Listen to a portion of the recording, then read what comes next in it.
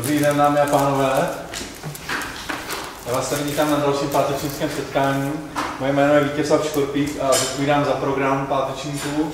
Na úvod, jako obvykle, bych vás rád požádal, abyste si vypnuli nebo alespoň stišili své mobilní telefony. Tak, eh, a já už dneska nebudu zdržovat a rád bych tady přivítal mezi námi eh, vzácného hosta Michala Křupku z Imunologického ústavu Lékařské fakulty Univerzity Palackého v Olomouci a také pokud se nepletu, tak předsedu uh, biologické, biologické, biologicko-medicínské sekce Českého klubu skeptiků Sisyphos. Uh, a dneska tady budeme mluvit o očkování, takže já už nebudu zdržovat a předám slovo. Já tady děkuji za úvod. Uh, chtěl bych uh, poděkovat za pozvání na tuhle akci. Jsem velice potěšen, že se koná v učebně zoologie, což je můj původní obor, který jsem vystudoval, než jsem utekl k těm vědám medicinálním. Eh, krásné je, že učebna se jmenuje B7. My teda v Olomouci máme zoologickou přednáškovou místnost B3, takže je vidět, že v Praze jste se v zoologii dostali výrazně dál. Eh, čím začít, než eh, troškou historie. Já v té přednášce se teda pokusím nastínit, co je problémem v současnosti, co se týče toho očkování, jeho vnímání ve společnosti a antivakcinačního hnutí. A v druhé části přednášky se zmíním o jednotlivých argumentech antivakcinačního hnutí nebo obecně argumentech používaných proti očkování a na základě evidence-based medicine nebo na základě prostě vědeckých, vědecky podložených údajů zkusím na ty jednotlivé Eh, argumenty odpovědět a uvést je na pravou míru. Na úvod bych se teda zmínil o pravých neštovicích, což je choroba, s kterou je vlastně metoda očkování výrazně spjata. Bylo to první onemocnění, proti kterému v podstatě očkování bylo možné a bylo zavedeno na přelomu 18. a 19. století Edwardem Anthony Jennerem, který si všiml toho, že lidé, kteří prodělali neštovice kravské, což je onemocnění poměrně benigní, potom získali on, eh, imunitu vůči těm eh, neštovicím pravým, což je naopak onemocnění velice maligní s vysokou umrtností. Už teda před, tou, před tím objevem vakcinace se používala takzvaná variolace, což jste možná slyšeli, což bylo používání vlastně strupů z těch neštovičných lézí které se inhalovaly nebo vpravovaly do kůže a e, probíhala tak vlastně nákaza oslabeným vírem těch pravých neštovíc, což byla metoda, která se používala nebo začala se používat v Orientu a byla následně přinesena do Anglie, ale byla nebezpečná v tom, že to samotné, ta samotná variolace měla poměrně vysokou nemocnost a uvádí se, že až několika procentní úmrtnost. Takže Přesto ale v té době byla akceptovaná, protože lidé měli ještě v živém povědomí, jak ty neštovice můžou vypadat, takže i do, do toho nebezpečí šli. K tomu Anthony Jennerovi, on teda nebyl úplně první, kdo eh, z tohle teorií přišel, nebo kdo si všiml těch kravských neštovic a byl první, kdo tuhle hypotézu publikoval a zavedl do praxe. Eh, ten způsob byl na dnešní dobu poměrně, řekněme, brutální, kdy tuhle uh, hypotézu testoval na synovi svého zahradníka, Jamesi Phippsovi, uh, kterého napřed nakazil těmi kravskými neštovicemi a následně, dejme tomu po týdnu, se pokusil nakazit těmi pravými neštovicemi. Naštěstí to dopadlo dobře, chlapec to přežil, neinfikoval se, ale když to srovnáme s dnešním přístupem k testování vakcín a eh, klinickým pokusům, tak je to opravdu met, ale metoda poplatná v tehdejší době. Metoda vakcinace potom naznala širokého rozšíření a vedla až k tomu, že v roce 1979 Světová zdravotnická organizace mohla prohlásit pravé neštovice za zcela eradikované. Takže je to poprvé v historii medicíny, když se podařilo nějakou infekci zcela eliminovat. Bohužel i víceméně zatím naposledy. V současnosti budeme věřit, že se ten virus pravých neštovic nachází jenom ve dvou laboratořích, a to v Novosibirsku a v Atlantě. Samozřejmě pořád jsou teorie, že někde z permafrostu, který by nám potál, nám ty neštovice můžou znova vyskočit a to by byl asi velký problém. Už v té době, kdy se ta vakcinace zaváděla, tak byla předmětem poměrně vysoké kontroverze v laické veřejnosti. Tady vidíme dobovou ilustraci vedlejších účinků toho očkování. Takže takhle se potom můžou projevovat ty kraské neštovice, že se z vás stanou krávy. Vakcinace eh, proti těm pravým neštovicím potom byla eh, zaváděna jako povinná už někdy počátkem 19. století. Už eh, někdy v roce, kolem roku 1830 vyšla takovéhle ustanovení, že kdo neočkuje, tak by měl být, nebo neočkuje své dítě, tak by měl být protokolárně vyslechnut, oznámen guberniu a dvorskému úřadu k dalšímu opatření a pokud by dítě neočkované zemřelo nebo onemocnělo, tak by rodiče měli být jménem i bydlištěm oznámení v novinách jakožto od předsudku zaslepení lidé. V, připomínám v polovině 19. století. Co je poměrně zajímavé, tak v Rakousku a později Rakousku-Uhersku měli nařízeno duchovní při svých kázáních každé tři měsíce zdůrazňovat povinnost očkování a vysvětlovat ji. Takže v té době krásný příklad, kdy eh, náboženství bylo průkopníkem pokroku v medicíně, celkem vzácný okamžik. Eh, nejinak potom tomu bylo i v nově vzniklém Československu, kdy to očkování bylo upraveno legislativně v roce 1919 a kdo odmítal očkování proti pravým neštovicím, tak se vystavoval pokutě 10 až 100 korun. Kolik to bylo, to těžko přepočítávat, ale vystával se i nebezpečí vězení až na 8 dnů.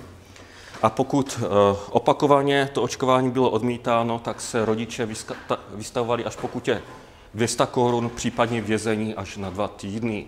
To jenom pro srovnání se současným legislativním eh, nebo legislativními předpisy, kdy hrozí maximálně jednorázová pokuta v řádu jednotek tisíců korun, o čemž ještě uslyšíme. To očkování teda u nás v českých zemích mělo poměrně eh, dobrý efekt a po roce 1910 v podstatě přestalo docházet k úmrtím. Velkým průkopníkem, to bych zmínil jenom v rychlosti, byl například doktor Tomajer toho očkování, ale už v té době se objevovaly i v řadách lékařů nějaké hlasy, které už v té době varovali, že očkování proti pravým neštovicím způsobuje tuberkulózu, eh, syfilis a eh, nádorová onemocnění, které do té doby údajně byly velice vzácné, takže to, že tyhle teorie teda jsou staré už více než 100 let. Eh, postupem času k, těm, k té vakcíně proti pravým neštovicím nastupovali další a další. Pro nás jsou zásadní ty 50. léta, kdy se zavedla kombinovaná vakcína DTP, takže proti diftérii, tetanu a pertusy, záškrtu, tetanu a černému kašli. V českých zemích v roce 58 povinné pravidelné očkování. Postupně přibývaly další, Zásadní je e, očkování proti poliomyelitidě, dětské obrně, kde české země nebo Československo tenkrát bylo první zemí, kde se zavedlo plošné očkování oslabenou živou vakcínou, která se potom zavedla celosvětově, i když se potom v nedávné době potom zase zaměnila za tu e, neaktivní, o čem se ještě zmíníme. Co se teda týče povinného očkování v České republice v současnosti, tak součástí toho povinného schématu jsou vakcíny dvě. Jedna takzvaná hexavakcína, která obsahuje subjednotkové vakcíny nebo rekombinantní vakcíny. Jednoduše řečeno jsou to složky, které neobsahují živou nebo celou bakterii ani virus. Obsahují jenom izolované a přečištěné antigeny, případně antigeny rekombinantní, a ty antigeny chrání teda proti šesti nemocím, dětské obrně, dávivému nebo černému kašli, záškrtu hemofilu influenze typu B, který může způsobovat u dětí eh, meningitidy, případně epiglotitidy s poměrně dramatickými následky. Eh, je zde obsažena složka proti tetanu a poměrně nově je zde složka proti, pardon, proti hepatitidě B, takže žloutence typu B. Druhá vakcína, trojvakcína Priorix nebo MMR, je eh, složená ze složek chránících proti spalničkám, zarděnkám a příušnicím A co je důležité, tak tady ta vakcína je složena z atenuovaných živých virů. Eh, to je důležité proto, že může být opravdu nebezpečná, pokud je aplikovaná špatně, a to osobám nebo teda dětem, které mají výrazně narušený imunitní systém, takže trpí těžkým imunodeficitem. To je tady u té vakcíny celkem důležité si uvědomovat. Eh, pro některé skupiny jsou potom doporučovány vakcíny proti tuberkulóze a proti pneumokokům. Ta tuberkulóza byla donedávna povinná, ale vzhledem k tomu, že byla poměrně reaktivní, tak byla stažena a v dnešní době, jako povinná a v dnešní době se aplikuje jenom u dětí, které jsou ve zvýšeném riziku z důvodu nějakého styku s osobou nakaženou tuberkulózou. Co se týče názoru veřejnosti nebo celkově e, přístupu obyvatelstva k očkování, tak ještě v roce 2005 vyšel článek v lékařských listech, kdy autoři e, zdůrazňují, že v České republice je očkování prakticky samozřejmé a pro očkovanost se blíží 100%, což uvádějí, že je jeden z mála přínosů socialismu, kde si lidi na tu povinnou vakcínu prostě zvykli a vyjádřují zneklidnění, že v okolních zemích se objevují obavy z nežádoucích účinků a odmítání těch vakcín. Ale už v roce 2013 se Česká lékařská komora ohrazuje proti nepodloženému spochybňování přínosu očkování ze strany, ze strany lékařů a vydává eh, prohlášení, že odmítání vakcinace je od lékaře postup non lege artis, takže v rozporu se současným poznáním a vlastně s pravidly ověřenými evidence-based medicínou. Eh, v roce 2014 už proběhly první soudní řízení, kdy soudy zatím dávali za pravdu státu, že eh, obavy z očkování nejsou důvodem, proto se z té povinnosti vyvázat Eh, tady ale problém trvá pořád, protože přestože to očkování je povinné, tak v podstatě není nástroj na jeho vymahatelnost. Takže považovat ho za nějak vynucované lze těžko, v podstatě hrozí pokuta ve výši, dejme tomu, do nějakých 4-5 tisíc korun a tím se situace uzavře. Takže tam je otázka, jestli to, co my považujeme za povinné očkování, je opravdu povinné. Eh, Kolem toho roku 2013-14 se tedy objevuje hnutí za dobrovolnost v očkování, kdy se objevila petice, kdy občané žádají, aby eh, mohli učinit svobodné rozhodnutí o očkování svém a očkování svých dětí a žádají o změnu zákona číslo 258 2000 sbírky, což je zákon o ochraně veřejného zdraví. Tady tenhle požadavek zní celkem logicky, přece jenom v demokratické zemi eh, někomu něco vnucovat asi není úplně nejlepší nápad, ale otázka se teda nabízí, co má být zdrojem informací pro to samostatné rozhodování, nebo na základě čeho se ti občané mají rozhodovat kvalifikovaně, zda očkovat, neočkovat a proti čemu. Zdroje informace o očkování, jedním z těch zdrojů jsou samozřejmě výrobci očkovacích látek. Tady v podstatě těžko říct, jestli je to zdroj informací, většinou je to spíše reklama, někdy vkusnější, někde, někdy méně vkusnější. Nová legislativa v podstatě tu reklamu poměrně silně omezuje, takže uh, brát jako nějaký objektivní zdroj informací výrobce, uh, samozřejmě příbalový leták by měl obsahovat celou řadu informací, ale těžko soudit, jak moc je běžný v medicíně nebo v biologii nekvalifikovaný občan České republiky schopen ho správně interpretovat. Problémem je jako zdroj informací používat internet. Když se občas používá uh, uh, název fenomén Web 2.0, kdy zatímco, když uh, internet začínal, tak většina jeho obsahu byla tvořena profesionály nebo byly to nějaké profesionálně vedené stránky, v dnešní době eh, na internetu většina obsahu je vkládána přímo uživateli pomocí sociálních sítí, blogů, různých nástrojů na sdílení fotografií, videí od YouTube přes Facebook, kdy tyhle informace jsou samozřejmě nerecenzované, jsou neověřené a jsou prakticky neověřitelné. Říkalo se dřív, že papír snese všechno, tak internet toho snese samozřejmě ještě mnohem víc.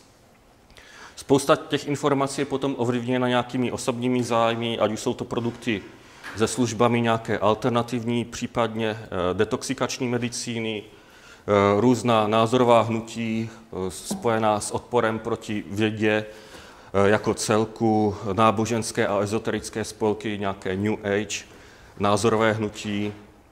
A objevuje se fenomén, prostě je to pravda, protože jsem to četl na internetu, tak to tak prostě musí být. Vakcínám je tady potom přisuzována opravdu široká škála vedlejších účinků od způsobování autoimunit, od roztroušené sklerózy, artritidy, přes Guillain-Barré syndrom, přes alergie, vývojové defekty, které jsou často geneticky podložené, neurologické poruchy, nádorová onemocnění a jak vám ukážu za chvilku, až po zlomeniny kostí. Takový eh, odstrašující příklad jsem použil stránku RIP Amálie, další oběť povinného očkování, což je zpráva, která se objevila eh, v elektronických médiích, na Facebooku a tak dále, ale vychází ze zpráv na webu Modrý koník, což je web eh, v podstatě rodičovský, spojený s nějakým bazarem, věcí pro děti a tak dále, kdy se objevila informace o úmrtí malého dítěte po aplikaci vakcíny právě té trojkombinace proti virům, eh, kdy eh, byla ta zpráva na tom modrém koníku potvrzena několika lidmi, kteří tvrdí, že tu rodinu znají a tak dále. My jsme se do toho začali trošku vrtat a zjistili jsme, že žádný podobný případ nebyl jako vedlejší účinek očkování nikdy nahlášen. Státní ústav pro kontrolu léčiv o ničem takovém neví. A podali jsme dotaz administrátoru Modrého koníka, jestli by nemohli trošku propátrat, odkud ta informace vzešla. A došli k zajímavému závěru, že v podstatě všichni, kdo na tom Modrém koníku tvrdili, že o tom umrtí vědí, tu rodinu znají a tak dále, tak se přihlašovali z jedné IP adresy. A byl to v podstatě multiple účet jedné osoby. Takže administrátoři Modrého koníka tu zprávu dementovali, stáhli, eh, proběhla tam čistka, kdy bylo smazáno několik profilů, ale ta zpráva už z veřejného mínění se stahuje prostě špatně. Z tohle se nabízí teda otázka, jak důvěryhodné můžou být ostatní údaje o nežádoucích účincích, co se na internetu objevují. Já jsem tady použil několik citátů z Facebooku, kdy ten první je poměrně děsivý, že pokud je lékař normální, tak by se s ním dalo domluvit, aby dítěti vakcínu aplikoval, neaplikoval, vylil, vyhodil, šplíchnul do umývadla a jenom zapsal, že dítě bylo očkováno. Což zde přítomní lékaři, vidím zatím jednoho, určitě potvrdí, že za tohle se asi může jít i na pár měsíců sednout. Dále, eh, očkování poškozuje mozek, způsobuje mimo jiné poruchu pozornosti. Děti jsou roztěkané, díky nepozornosti si snadno něco zlomí. Souvislost tam je, moje starší dcera si vždy do týdne po očkování něco zlomila. Jednou prst v pěti letech, po druhé ruku v deseti letech. Takže to je ten vliv očkování na zlomeniny. Eh, znám pět dětí, co po očkování zemřeli, asi není potřeba komentovat. Moje dítě očkované proti příušnicím mi prodělalo dvakrát. Průběh byl šílený, kdyby se jako my vyleželo v teple, bylo by to příjemnější. Tady se samozřejmě uh, nabízí otázka, proč se teda v teple nevyleželo, když je dostalo dvakrát. A zvlášť potom, když se tvrdí, že po prvním prodělání vzniká celoživotní imunita, což je právě jeden z těch argumentů, proč neočkovat. Kde už končí legrace, je kazuistika z roku 2014, kdy údajně dítě se do nějakého data vyvíjel normálně, bylo živé, čiperné, dobře pilo, přibývalo a bezprostředně po prvním očkování vakcínou Infanrix Hexa, to je ta povinná hexavakcína, a současném očkování proti pneumokokovi začalo dítě špatně sát, přestal přibírat a genetické vyšetření prokázalo spinální muskulární atrofii což eh, podle tohle by v podstatě to očkování změnilo dítěti genom, protože samozřejmě jde o dědičnou vrozenou chorobu. Co je ale děsivé, tak eh, v tom příspěvku dále bylo, že o dítě se stará jen eh, matka, nejmenovaná lékařka homeopatka z Prahy a rehabilitační pracovnice. Matka i ti lékaři homeopatí jsou šokováni, že vakcíny obsahují neurotoxické toxiny a tak dál. Eh, smutné je, že to dítě eh, necelého půl roku po téhle zprávě na tu spinální muskulární atrofii zemřelo, podle všeho bez toho, aby ho vůbec kdykoliv viděl neurolog. Eh, co se mi podařilo zjistit, tak byla léčena teda homeopatii, byla léčena specialisty na rodinné konstelace, ale klasická léčba, která by samozřejmě u téhle choroby nebyla kurativní, ale spíše by se dalo ten život prodloužit a v podstatě pariativně zlepšit kvalitu života, tak k téhle péči se to dítě vůbec nedostalo. Zdroj další nezávislé zpravodajství, takže samozřejmě očkování zabíjí podle některých webů 100 tisíce dětí, očkování způsobuje HIV, eh, měl alergii na med, zabil ho očkování. Takže nezávislé zpravodajství asi taky úplně nebude cestou, kde ty informace hledat. Eh, do médií se ale dostávají případy různé, tenhle zase opět je poměrně neveselý, kdy eh, v loňském roce Českem otřásl otřesný případ, je to krásná čeština, otřásl otřesný případ, eh, kdy bylo v celostátních médiích publikováno, že dítě zemřelo podstatě ten samý den po tom, co bylo přivezeno z očkování, Eh, přestože souvislost zatím nebyla prokázána. Matka tvrdí, že je zřejmá a proběhlo to v podstatě eh, řadou médií od Blesku až po aktuálně CZ. Už velice záhy se ale objevovaly eh, zajímavé informace o tom, že policie tu věc neuzavřela jako následek očkování a v průběhu několika dní byla matka pod dohledem policie hospitalizována eh, po, v následku duševního zhroucení, což je celkem zajímavé, protože vzhledem k tomu, že jí bylo 17, tak pod dohledem policie byla hospitalizována na dětském oddělení Hodonické nemocnice. Eh, po pitvě se potom zjistilo, že vakcína v tom je zcela nevinně a že došlo k udušení toho dítěte násilnou cestou. Takže bylo udušeno polštářem a v září letošního roku, takže nedávno, se ten případ vyřešil tak, že matka dostala za zabití dítěte čtyři roky nepodmíněně. To, že eh, všemi médií proběhlo, že dítě zemřelo po očkování, zvlášť po tom, co se na jeho pohřeb vyhlásila sbírka, tak tohle už asi bohužel z uh, nějakého názoru těch lidí nebo s jejich eh, povědomí se dostane asi těžko. V čí dobro teda vlastně to spochybňování očkování může být? Samozřejmě, že většina jsou rodiče, kteří mají strach o možné následky, ale většinou původci těch zpráv jsou v, tě, v tom antivakcinačním hnutí nějak zainteresování finančně, a to buď službami nějaké alternativní medicíny, homeopatie, biorezonance, ajurvédy, postvakcinační detoxikace, případně publikační činností. Kdy zatímco tady jste si asi všimli, že e, příspěvek za tuhle přednášku je dobrovolný, tak e, očková, přednášky o nebezpečí očkování vstupné začíná, dejme tomu, na stovce a už jsem viděl i přednášku za 1200 vstupné. Takže Potom nás obvinovat, že jsme podplácení farmafirmami, je poměrně vtipné. Samozřejmě prodejnost časopisů, příspěvky ve vysílání, snaha vyvolat nějakou senzaci a zvýšit si čtenost nebo poslouchatelnost, případně v podstatě veřejný dosah. Eh, jak už jsem teda začal, alternativní medicína, prodej různých doplňků, tady si dovolím zmínit dvě největší hvězdy našeho protiočkovacího hnutí, doktorka Eleková profesorka Strunecká, vzhledem k tomu, že jsme na Přírodovědecké fakultě Univerzity Karlovy, tak paní profesorka Strunecká je tady asi celkem známá. Eh, doktorka Eleková, ta se živí homeopatickou medicínou, autopatií a podobnými metodami.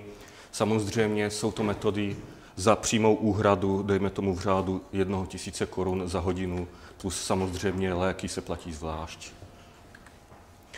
Eh, doktorka Eleková je to tady na akci Českého klubu skeptiků musím zmínit, potom nositelka Zlatého bludného balvanu za názor, že očkovat není nutné žádné dítě a tvrdí, že i u e, vážných nemocí všechny očkování pouze tu imunitu narušují a proti infekcím vůbec nefungují.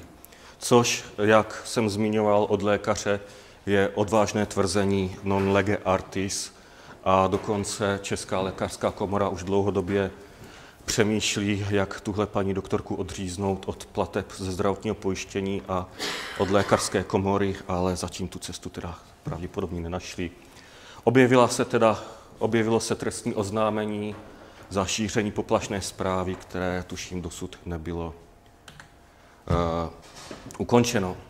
Jenom ukázka z publikační činnosti v uh, prestižním vědeckém časopise Knihovnička Meduňky, kdy na straně 146 paní doktorka Eleková píše, že očkování je k ničemu, kdyby jen bylo neúčinné a tak dále, takže oslabuje imunitu proti všem infekcím, poškozuje nervový systém a nefunguje. Už o stranu dál, na straně 147, se potom můžeme dočíst, že kdyby se očkovat přestalo, tak jistě nastat by epidemie. Takže očkování nefunguje, ale když se s ním přestane, tak samozřejmě nastanou nějaké epidemie. Co k tomu dodat?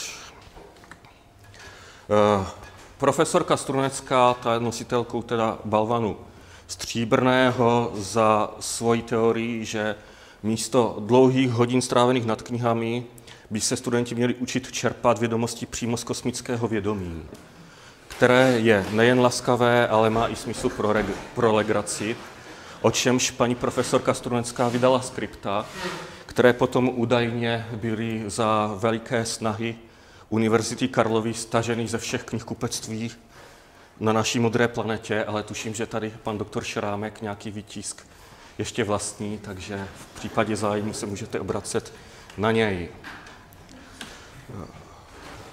Takže tvrzení profesorky Strunecké o očkování, divím se, že to ty děti vůbec přežijí.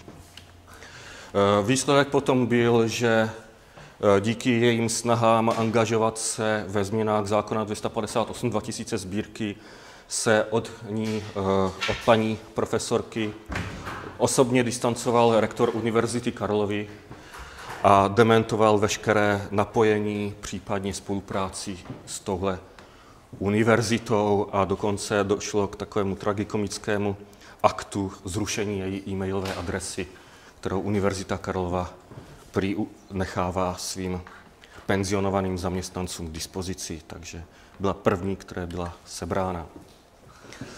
Ještě bych se zmínil o jedné stránce Svoboda v očkování, má teda českou i slovenskou mutaci a všimněte si hlavně téhle tabulky, kdy e, autor uvádí součet darů za ten konkrétní měsíc jako uznání za jeho články, které překládá a publikuje a v kolonce pod tím je životní minimum jeho, jeho manželky a jeho tří dětí, které si nárokuje k uhrazení za to, že provozuje tenhle web. E, k tomu samozřejmě ještě nějaké drobné příspěvky na provoz, takže v podstatě za to, že provozuje ten web, tak si nárokuje, aby čtenáři celou jeho rodinu, včetně tří dětí, živili. Vyváženost názorů, pokud se objeví téma očkování v televizi, v rádiu, tisku, tak většinou eh, se je snaha o nějakou vyváženost iluzorní názorů, takže tady vidíme nejslavnější dvojici, která se většinou na veřejnosti objevuje.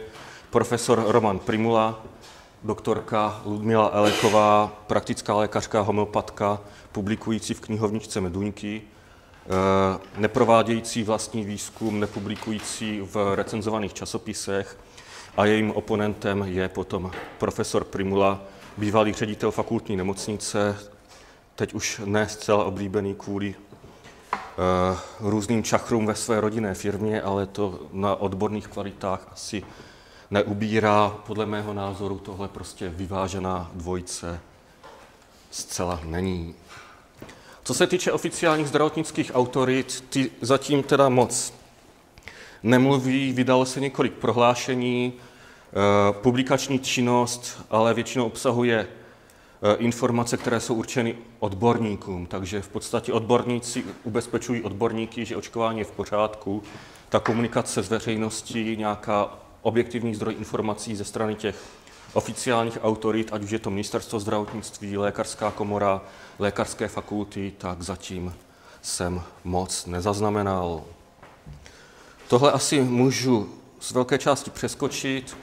Co se týče bezpečnosti očkování, tak samozřejmě existuje celá řada kontraindikací očkování. Eh, mohou to být imunodeficity, mohou to být nějaké zákroky, operace, autoimunitní onemocnění, akutní horečnaté onemocnění, kdy se ty případně alergie na některé složky, kdy se ty vakcíny nemají podávat. Takže vakcíny můžou mít nějaké nebezpečí a rizika, ale dají se výrazně minimalizovat tím, že se bude očkovat správně, budou se dodržovat kontraindikace. Co se týče postvakcinačních reakcí, tak nikdo se netváří, že neexistují, ale většina z nich jsou takzvané eh, postvakcinační reakce nebo nežádoucí účinky, takzvaně očekávané. Ty se objevují, dejme tomu, až u 15 očkovaných, jako únava, bolest svalů, teplota, horečka, bolest v místě aplikace, což v podstatě znamená, že ta vakcína funguje. Je to v podstatě důsledek toho místní, té místní aktivace imunitního systému a prostě to, že po očkování má dítě den nebo dva zvýšenou teplotu, je spíš pozitivním signálem, že ta vakcína zabrala. E, problémem jsou potom závažné neočekávané reakce, což můžou být reakce alergické, mohou to být febrilní křeče, zvýšená teplota e, po, nebo horečka po více než dva dny, závažnější lokální reakce, neurologické reakce, případně až encefalitída. Nikdo netvrdí, že tyhle vedlejší účinky se nevyskytují, ale nelze souhlasit s jejich frekvencí, která je uváděna v řadě zdrojů. Ty závažné reakce se objevují v řádech eh, jednaků tisícům až stovkám tisíc, řekněme. Eh, zhlášených reakcí těch vážných se každý rok na SUKLu objevuje, dejme tomu, 20 případů, které jsou prokázané jako následek očkování z celé populace. Co se týče hlášení nežádoucích účinků, tak by měly být hlášeny hlavně ty eh, neočekávané, ty závažnější. Občas se dočteme o tom, že vedlejší účinky vakcín jsou výrazně podhlášené. S tím asi lze souhlasit, ale podhlášené jsou většinou ty banální, očekávané následky eh, ve formě třeba zvýšené teploty jeden, dva dny, případně otoků. Co je důležité si uvědomit, tak ty uh, nežádoucí účinky jsou opravdu pečlivě sledovány. Hlásit je může nejenom lékař nebo zdravotní personál, ale hlavně může ty nežádoucí účinky hlásit i rodič, případně sám očkovaný. Takže tolik k tomu sledování. Eh, já bych se před tou druhou částí zastavil tady u toho grafu, který se snaží znázornit dynamiku důvěry k vakcínám v průběhu takové typické infekce, na kterou se objeví vakcína. Eh, černě plnou čárou je tady teda četnost onemocnění, takže frekvence onemocnění v populaci. Eh, čárkovaně je pro očkovanost, takže procento populace, které dostalo vakcínu, a tečkovaně je četnost vedlejších účinků. Onemocnění začíná teda fází 1, kdy v populaci eh, ta infekce koluje, způsobuje nějaké následky, lidé mají tu infekci v povědomí, někteří z nich ji prodělali s negativními důsledky, můžou mít následky, případně jejich známí, jejich příbuzní mohou mít následky, nebo těžký průběh onemocnění, případně někde mezi známými a v příbuzenstvu se může um, objevit úmrtí na tu infekci. Takže v populaci je obava před tou infekcí a je v podstatě eh, velká naděje nebo velký hlad po té vakcíně, která by to onemocnění mohla omezit.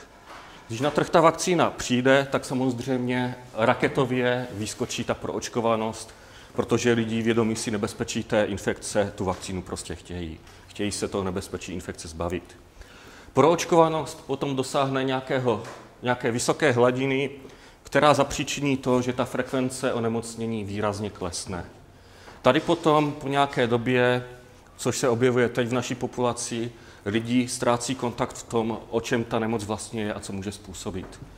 Dnešní lékař nepozná záškrt, protože ho v životě neviděl. Eh, dětská obrna už je známá většině populace pouze z literatury. Eh, černý kašel, ten teda ještě se občas objeví, ale už většinou ne s tak vážnými následky. Eh, co je problém, tak ty nežád, frekvence nežádoucích účinků zůstává už konstantní, i když v podstatě to nebezpečí onemocnění výrazně kleslo.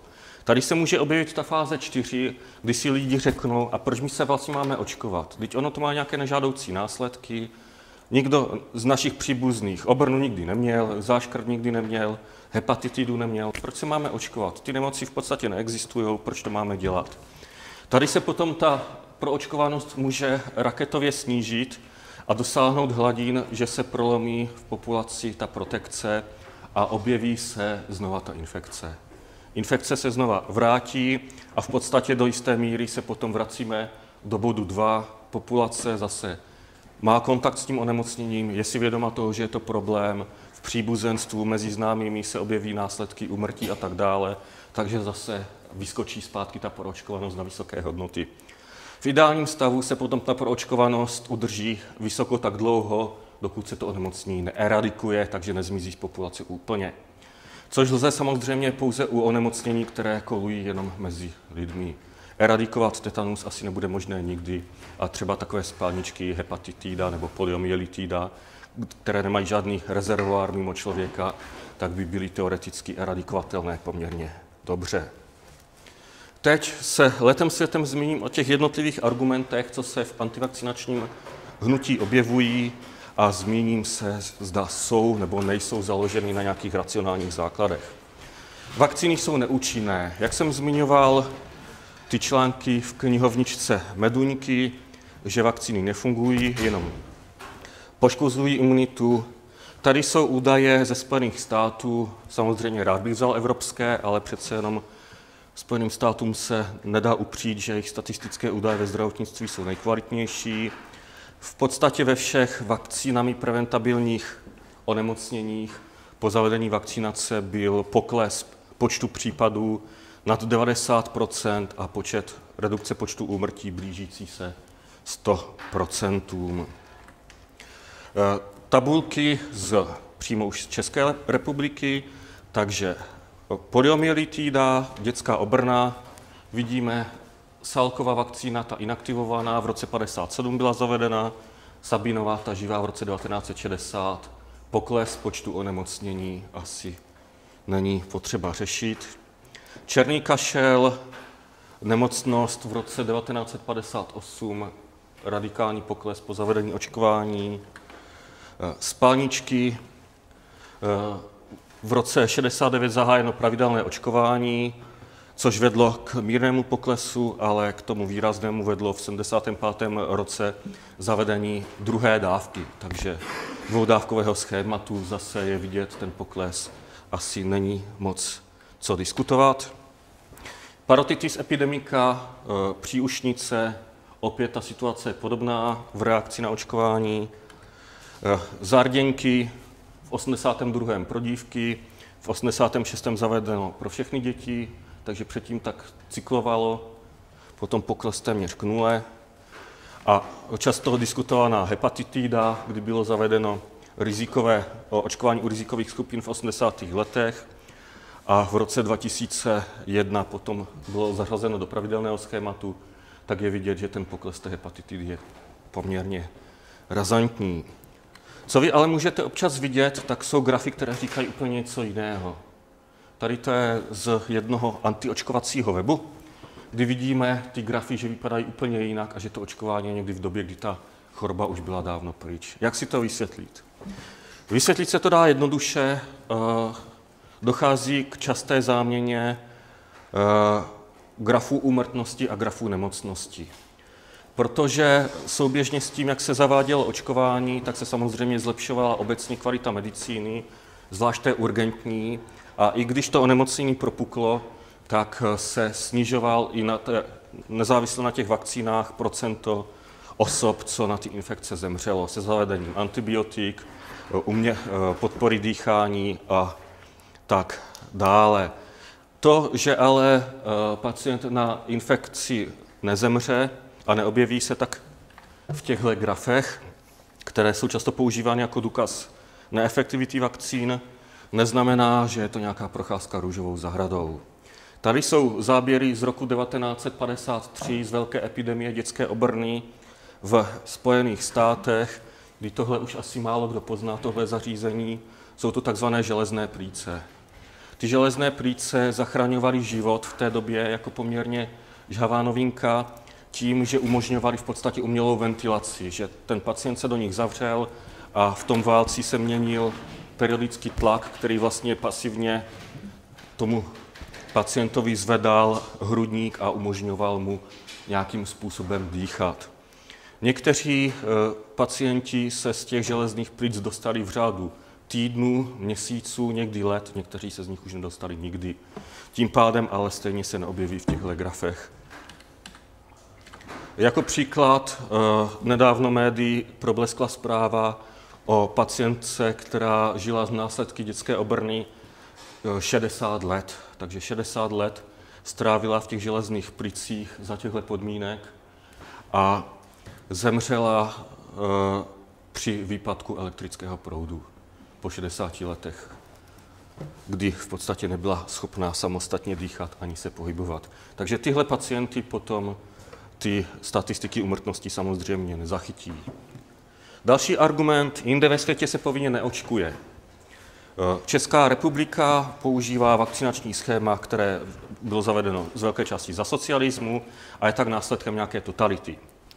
Tohle je pravda částečně.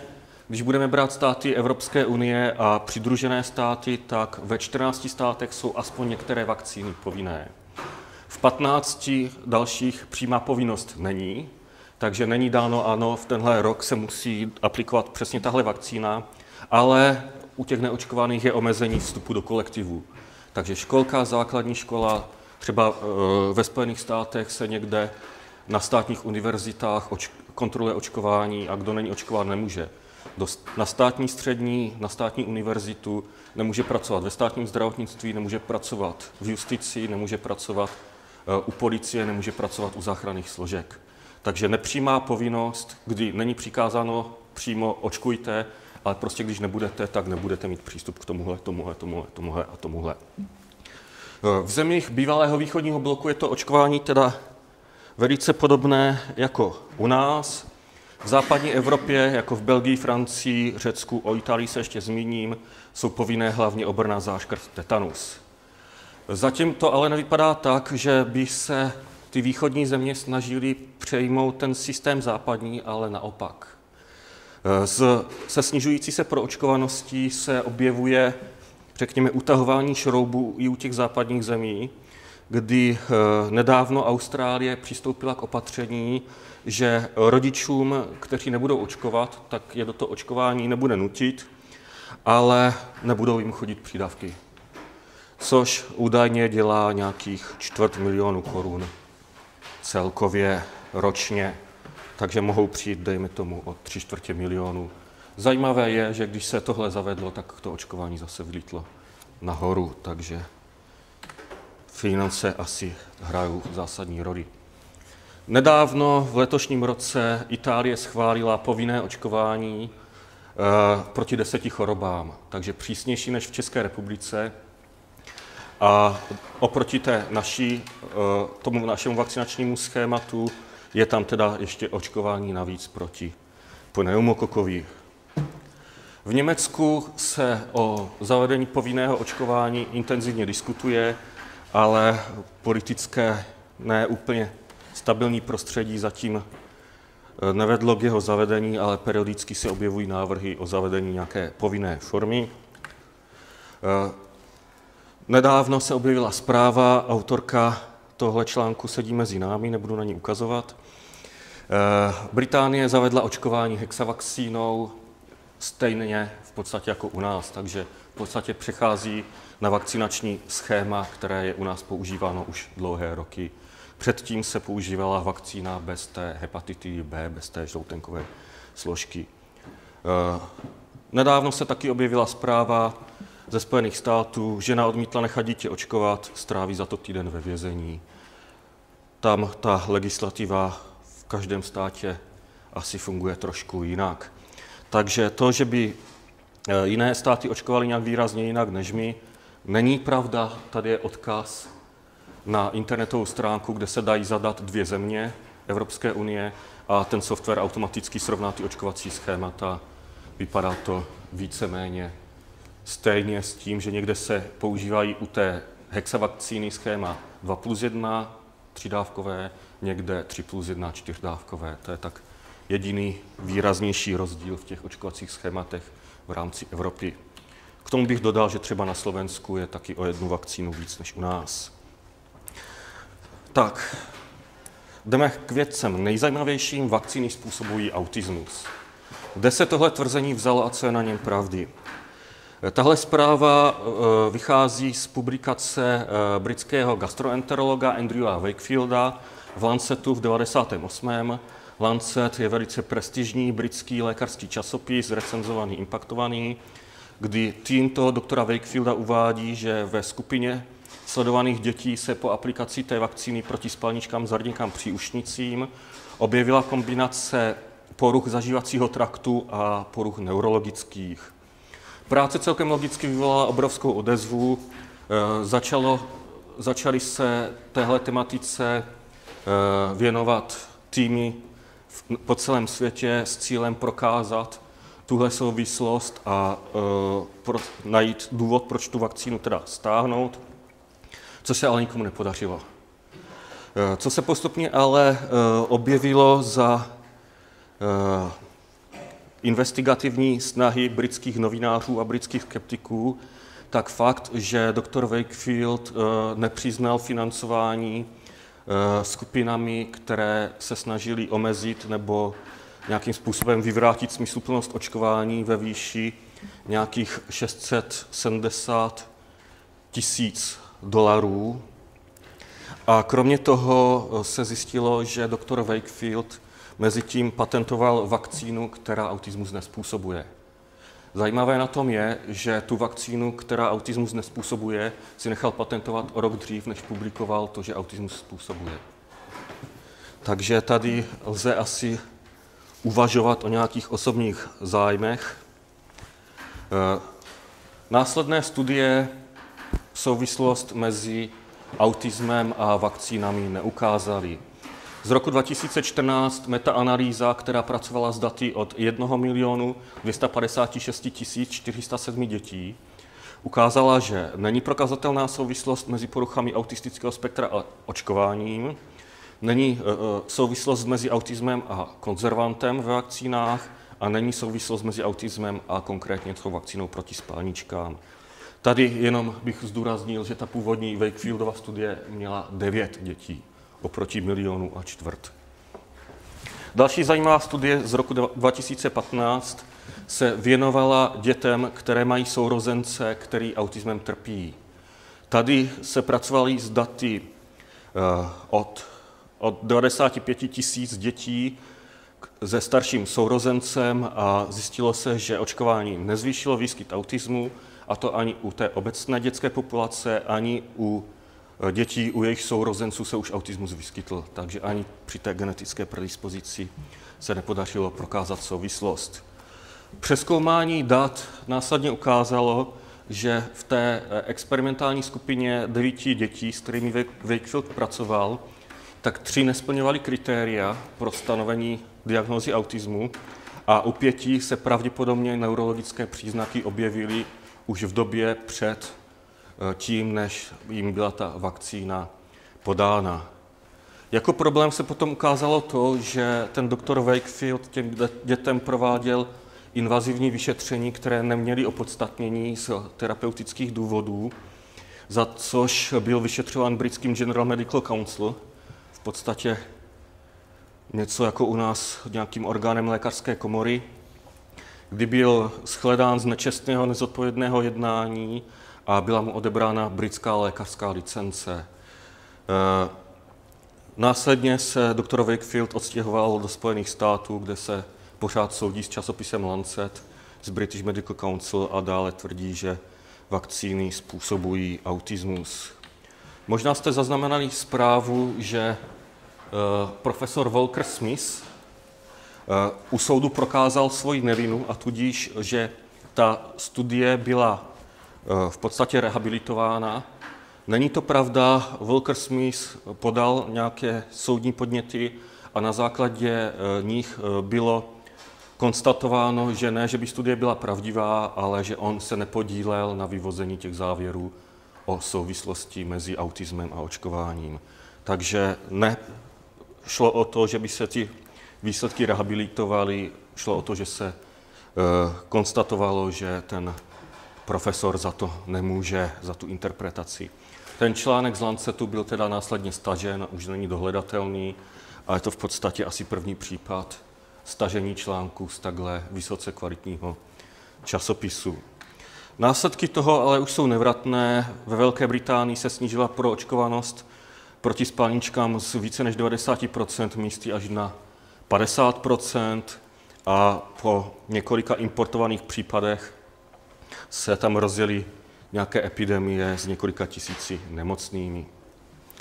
Další argument, očkování se provádí jen kvůli zisku farmafirem. Farmafirmy, kdyby chtěli opravdu pořádně vydělávat, tak rozhodně nedělají vakcíny. Eh, vakcína eh, v současné době, aby se uvedla na trh, tak potřebuje intenzivní klinické testování, které stojí několik desítek miliard, samozřejmě dolarů. Takže u vakcín, které jsou v dnešní době na trhu, ještě u většiny nedošlo ani ke splacení nákladů na jejich zavedení a testování. Pro představu na jednoho pacienta Všeobecné zdravotní pojišťovny ročně pojišťovna vyplácí 23 tisíc korun, z toho necelých 13 tisíc na lůžkovou péči, jsou to teda údaje z roku 2013, na léky nějakých přes 3,5 tisíce, na lázně 154 korun a na očkovací látky nějakých korun 95 na osobu a rok. Takže asi by bylo pro ty farmafirmy lepší otevřít si lázně než vyrábět vakcíny z ekonomického hlediska.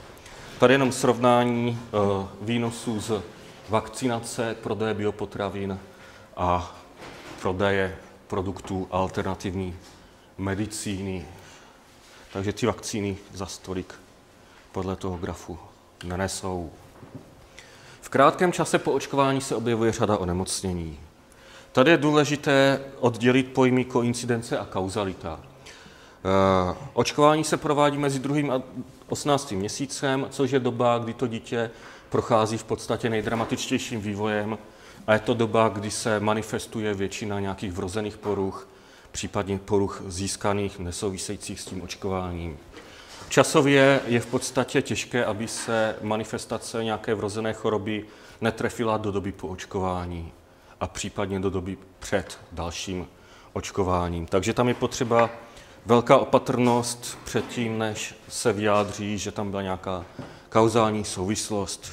Když budeme brát pouze tu koincidenci, tak bychom úplně stejně mohli tvrdit, že za autismus může prodej biopotravin. Tady vidíme, že ten trend je zcela jasný. Velice zajímavý trend je potom mezi uh, počtem uživatelů Internet Exploreru a počtu vražd ve Spojených státech. Tady, když ty data proložíme, tak je tam taky jasná kauzalita. A e, nejzajímavější je souvislost mezi e, frekvencí dětské obrny a objemem prodeje zmrzliny ve Spojených státech v roce 1949. Takže předtím, než vyslovíme, že je tam nějaká kauzalita, tak musí být opravdu nějaký hlubší důkaz, než jenom ta časová souslednost. Toxické složky ve vakcínách. Často se mluví o toxicitě hliníku, který poškozuje nervovou soustavu. Pravda je, že ten hliník se ve vakcínách používá, a to jako takzvané adjuvans, kdy se e, přidává e, do vakcín už někdy od 30. let 20. století, kdy se zjistilo, že vakcína bez hliníku by se musela podávat 8krát až 10krát a e, vakcína s hliníkem stačí podat dvakrát za stejného účinku. Takže podporuje tu imunitní reakci. Hliník jako takový se potom objevuje v životním prostředí, tuším, jako třetí nejčastější prvek. A i zdravý člověk má ve svém organismu uloženo 100 mg hliníku plus minus. Což znamená, že e, obsah hliníku, který by se dal extrahovat z lidského organismu, odpovídá více než 100 vakcinačním dávkám, protože limit u vakcín je v současné době maximálně 85, žádná celá 85 e, setin miligramů na dávku. A paradoxně v průběhu doby Dneska se často uvádí, že ten hliník je problém, protože se těch vakcín dává moc a hliníku je tam moc a tak dále. Lidi mé generace a starší jsou očkováni ještě vakcínou československou, která se jmenovala Alditepera a tam bylo toho hliníku zhruba třikrát. Předpokládá se víc než v tom Infanrixu. Takže v současné době, když dítě eh, dostane kompletní očkovací schéma toho Infanrixu, tak je to eh, dávka, která zhruba odpovídá předtím jedné jediné dávce té starší československé alditepery. Fakticky teda dochází ke snížení té expozice a ne naopak, jak se často tvrdí. Hliník teda eh, se do organismu dostává jak stravou, pitím, potravinami, čímkoliv. Dokonce se prokázalo, že hliník přijímáme v vdechovaném vzduchu. A tady je srovnání grafů obsahu hliníku v krevním oběhu dítěte a tady e, zeleně je, kolik dostane hliníku z umělé stravy, žlutě, kolik dostane hliníku z kojení, e, černě, kolik z vakcín a tady ty e, modrá a červená čára jsou minimální rizikové hladiny. Takže i při té vakcinaci pořád se nedostáváme na hladinu, která by mohla mít nějaké příznaky. Hliník jako toxický samozřejmě být může, pozorovalo se to ale hlavně u pacientů s poruchou ledvin, kteří nejsou schopni ten hliník vylučovat. A to hlavně u pacientů, kteří navíc ještě dostávali dializační kapalinu, která obsahovala hliník eh, v důsledku technologie čištění. Takže u pacientů, kterým ledviny nefungovaly, a ještě se jim ten hliník dával infúzně.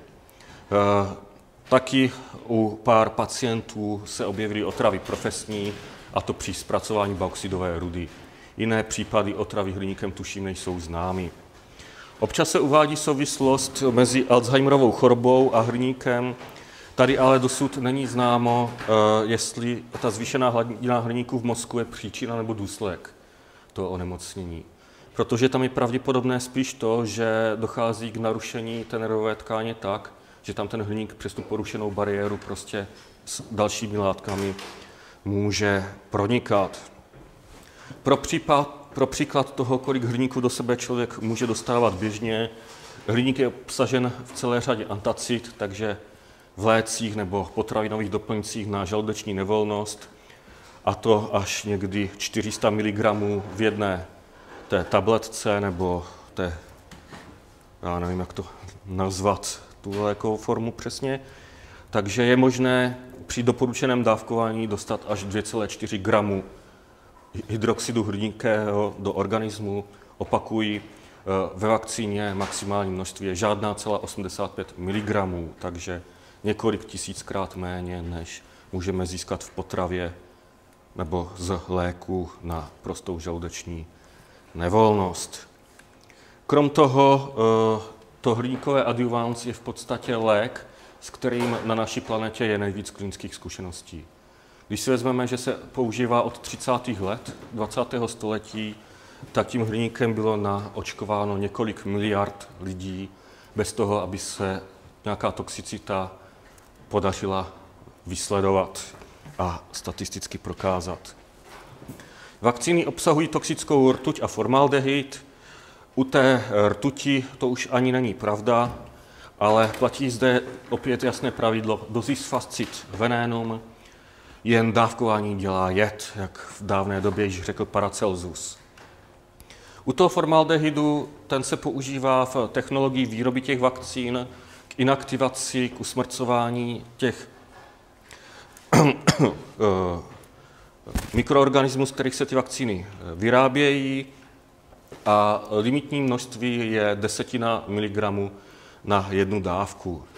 Tady ale je potřeba zdůraznit, že formaldehyd si člověk svým metabolismem vytváří i sám, aniž by se intoxikoval, protože má, je e, mezi produktem metabolismu a lidský organismus má účinné mechanizmy na jeho další metabolizaci a detoxikaci. Takže u zdravého člověka se objevuje 2 až 3 mg formaldehydu na litr krve. To znamená 20 krát tolik, než je maximum povolené v jedné očkovací dávce. Pro zajímavost, mléko může obsahovat až 3 mg, takže ekvivalent 30 vakcinačním dávkám na litr, maso až přes 200 vakcinačních dávek na kilo, ovoce a zelenina, tam se to množství liší. Nejhorší jsou na tom hrušky, kdy eh, kilo hrušek může obsahovat tolik formaldehydu jako více než 600 vakcinačních dávek. Tady samozřejmě je důležité zdůraznit, že formaldehyd je z trávicího traktu poměrně volně vstřebáván a přichází do krve, takže jeho biologická dostupnost je vysoká. Z rtutí je to trošku složitější. Rtuť se do vakcín eh, podávala jako konzervant, potom, co se v roce 1928 stala nepříjemná věc, kdy eh, vícedávkové balení vakcíny lékař uchoval v lednici, ale vlítly mu tam do toho nějaké bakterie. Takže přirostla mu vakcína stafilokokem, eh, vakcína následně byla aplikována několika lidem a 12 osob eh, zemřelo v podstatě na otravu krve kvůli kontaminaci té vakcíny. Kvůli tomu se začal používat tzv. tiomerzal, eh, konzervant obsahující rtuť, který má teda nízkou biologickou dostupnost, toxicita se u něj výraznější v těch hladinách nikdy eh, neprokázala. Eh, používá se mimo jiné třeba ve Spojených státech i v imunoglobulinových přípravcích, které pacienti dostávají v podstatě každé dva týdny celý život, pokud mají těžký imunodeficit. Takže za svůj život dostanou stovky, spíše tisíce dávek obsahující tenhle konzervant a nebylo tam pozorováno toxické působení. Což pro nás už v podstatě ani není tak důležité, protože v Evropě a Spojených státech se už používají víceméně jenom vakcíny jednodávkové. Předplněné stříkačky, které jsou sterilní, sejme se ochrana jehly, vakcína se aplikuje, celé se to vyhodí, stafilokok ani ne, bakterie nemají šanci, tudíž rtuť se u nás ve vakcínách povinně aplikovatelných ani většině dobrovolných nepoužívá. Je pouze v jedné značce vakcíny proti chřipce. Očkování je zbytečné, onemocnění, proti kterým jsou očkování namířeny, se už nevyskytují a zmizely eh, za zlepšení hygienických podmínek a kvality stravy. To je do určité míry pravda. Zvýšení hygienického standardu eliminovalo celou řadu nebezpečných infekcí, které se přenášely buď infikovanou vodou, infikovanými potravinami nebo orofekálním přenosem případně přinášeli nějací paraziti nebo krevsající hmyz a tak dále. Takže cholera, břišní tyfus, mor, skvrnitý tyfus určitě z naší populace zmizely díky zlepšení hygienických podmínek a hlavně kvůli úpravě vody, která zabránila jejich, její kontaminaci. Tyto choroby se ale pořád vyskytují v, ně, v některých zemích, třeba cholera v Rusku, eh, mor, tuším, že se objevuje i na jihu Spojených států, kde ho přinášejí pásovci veselé. Takže když budete eh, ve Spojených státech, nejste pásovce. Eh, v Texasu jsou to asi schopní. Ale v těchto zemích, kde se tyhle choroby pořád objevují, tak očkování proti ním je k dispozici a rutině se používá. Takže i na tyhle choroby vakcíny mají smysl, v našich zeměpisných šířkách asi moc ne. Tohle ale neplatí u chorob, které se přenášejí přímo z člověka na člověka.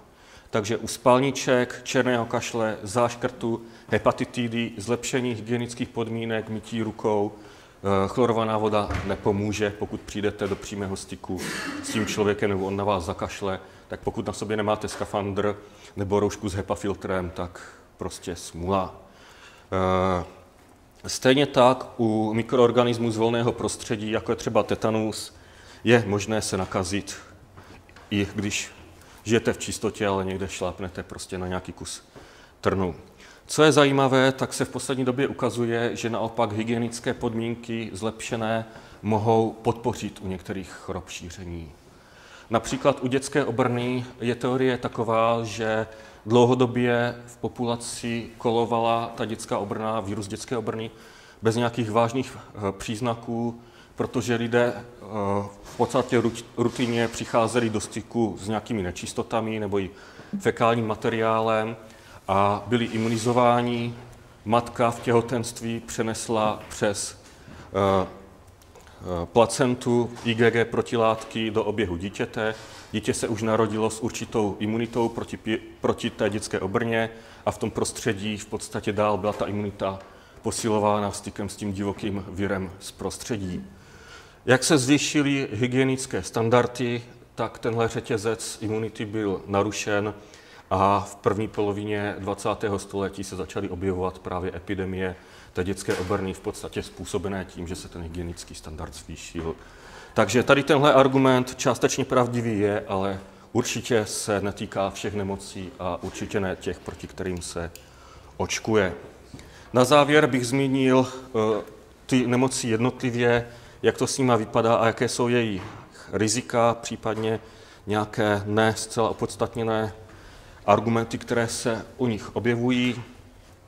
Spalničky jako takové, eh, kapenková infekce, která může probíhat poměrně lehce, ale může mít také i těžké komplikace. Eh, může se objevovat v 15 eh, nějaká komplikace, ať už ve formě encefalitidy nebo nějakých jiných problémů. Co je u těch spalniček nebezpečné, je takzvaná sklerotizující panencefalitida.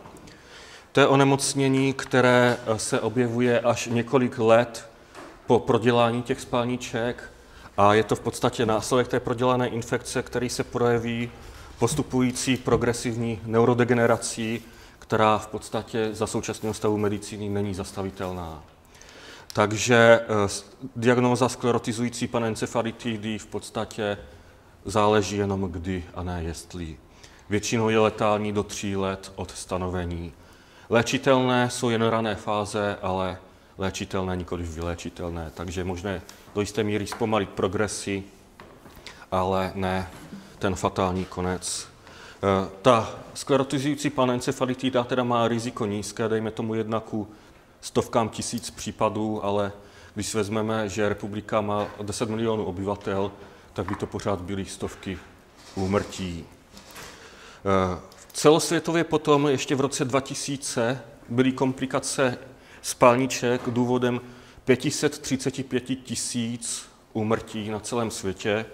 V roce 2010 již pouze, v uvozovkách pouze, necelých 140 tisíc mrtvých, většinou dětí. K tomu si od doktorky Elekové v knihovnice Meduňky můžeme přečíst, že spálničky byly běžnou součástí dětství, eh, prarodiče dbali na to, aby si je děti prodělali a nechali je nakazit a pak o ně lásky plně pečovali. Myslím, že minimálně 535 tisíc lidí si v roce 2000 myslelo, že to není dobrý nápad. Eh, ta umrtnost na spálničky je v dnešní době potom poměrně lokalizovaná, a to hlavně do Indie a afrického kontinentu, kde samozřejmě důvodem je eh, úroveň lékařské péče a v ruku v ruce s tím pro očkovanost. Jak vidíme, v Amerikách, severní i jižní a v Evropě se ty úmrtí na spalničky donedávna v podstatě nevyskytovaly. Co se týče Evropy, tak asi není moc překvapením, že na špičce, tady jenom si všimněte toho, že ta stupnice je logaritmická.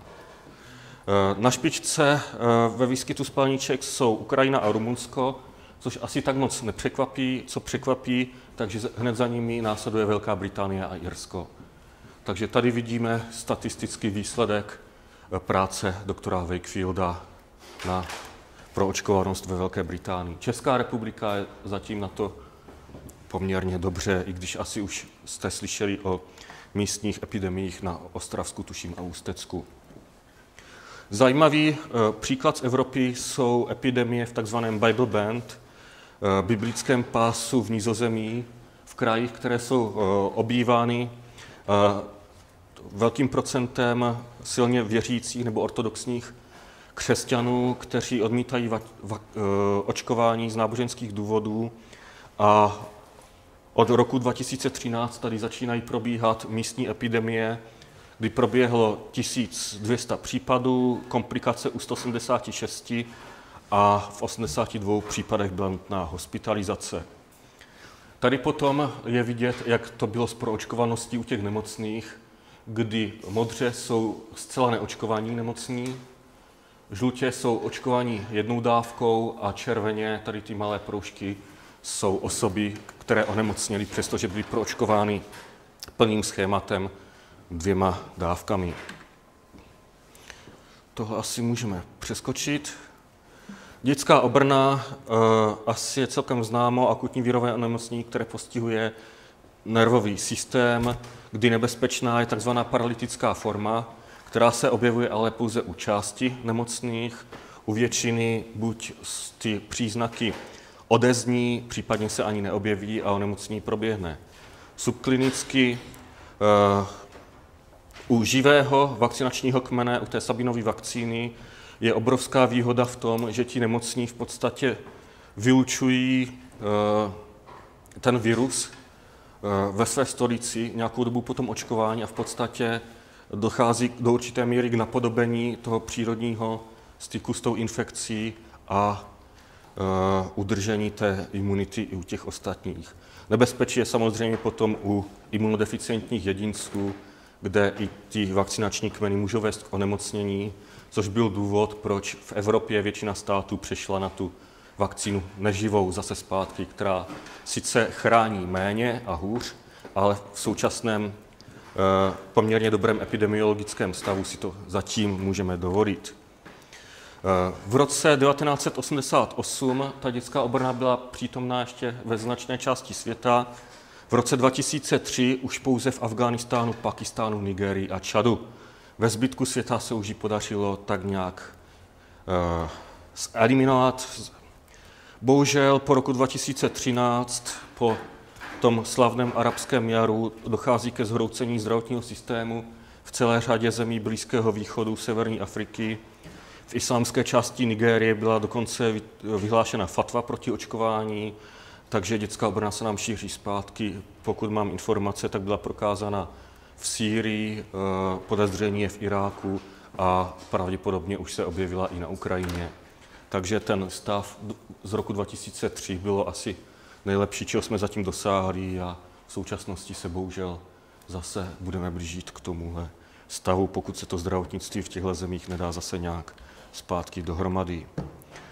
U tetanu je to infekce, eh, která se přenáší zraněními.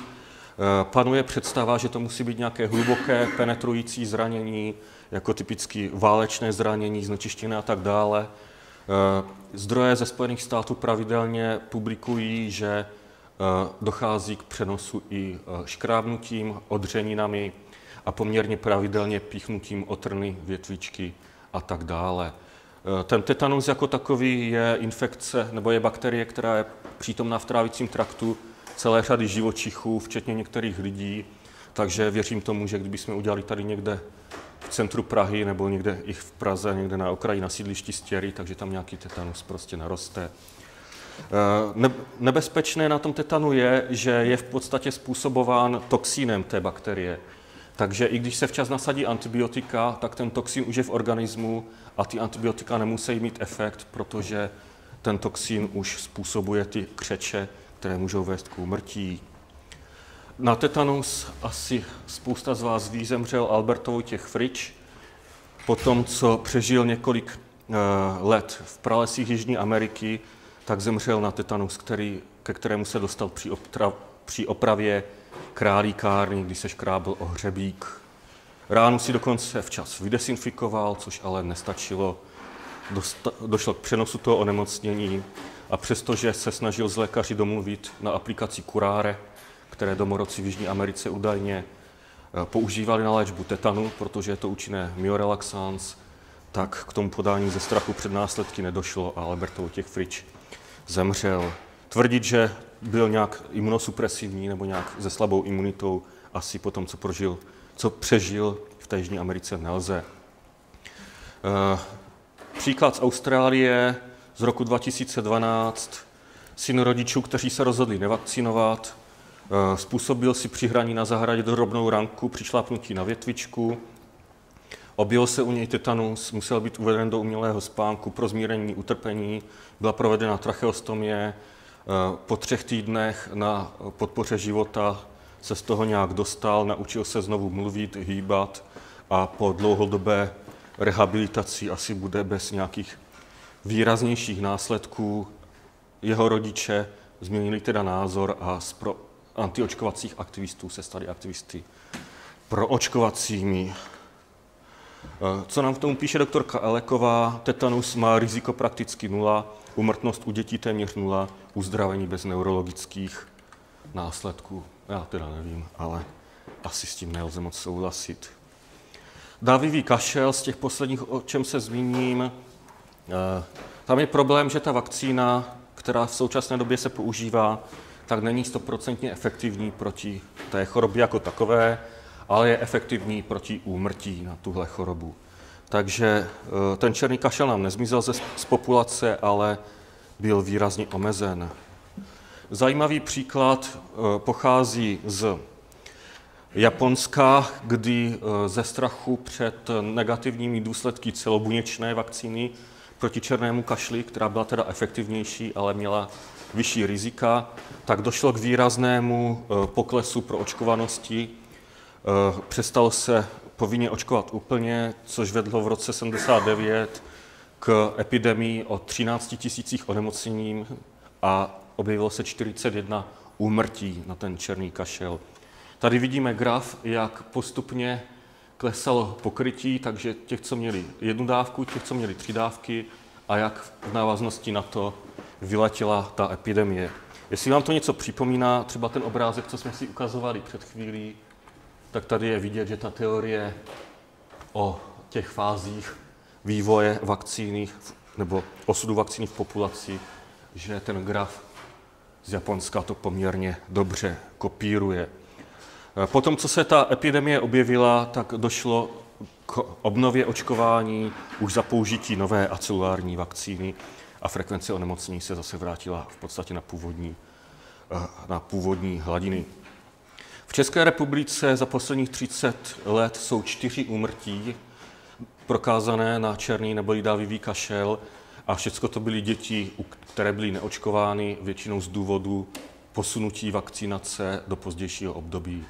Takže odkládání vakcíny za každou cenu, až dítě bude zralejší nebo bude připravenější, tak má zcela jasné rizika, protože právě ty nejmenší děti jsou v tom největším riziku. Záškrt, eh, bakteriální infekce, která se opět vyskytuje hlavně v Ázii, eh, ale od května 2015 už ho můžeme předpokládat zpátky v Evropě, protože se znovu objevil po 30 letech ve Španělsku. Eh, hospitalizován šestiletý chlapec s diagnózou záškrtu neočkovaný, rodiče příznivci alternativní medicíny, matka fyzikální terapeutka na homeopatické klinice. Chvilku trvalo ten záškrt poznat, ale byl správně diagnostikován. Byly nasazeny antibiotika, ale záškrt je podobný případ jako ten tetanus.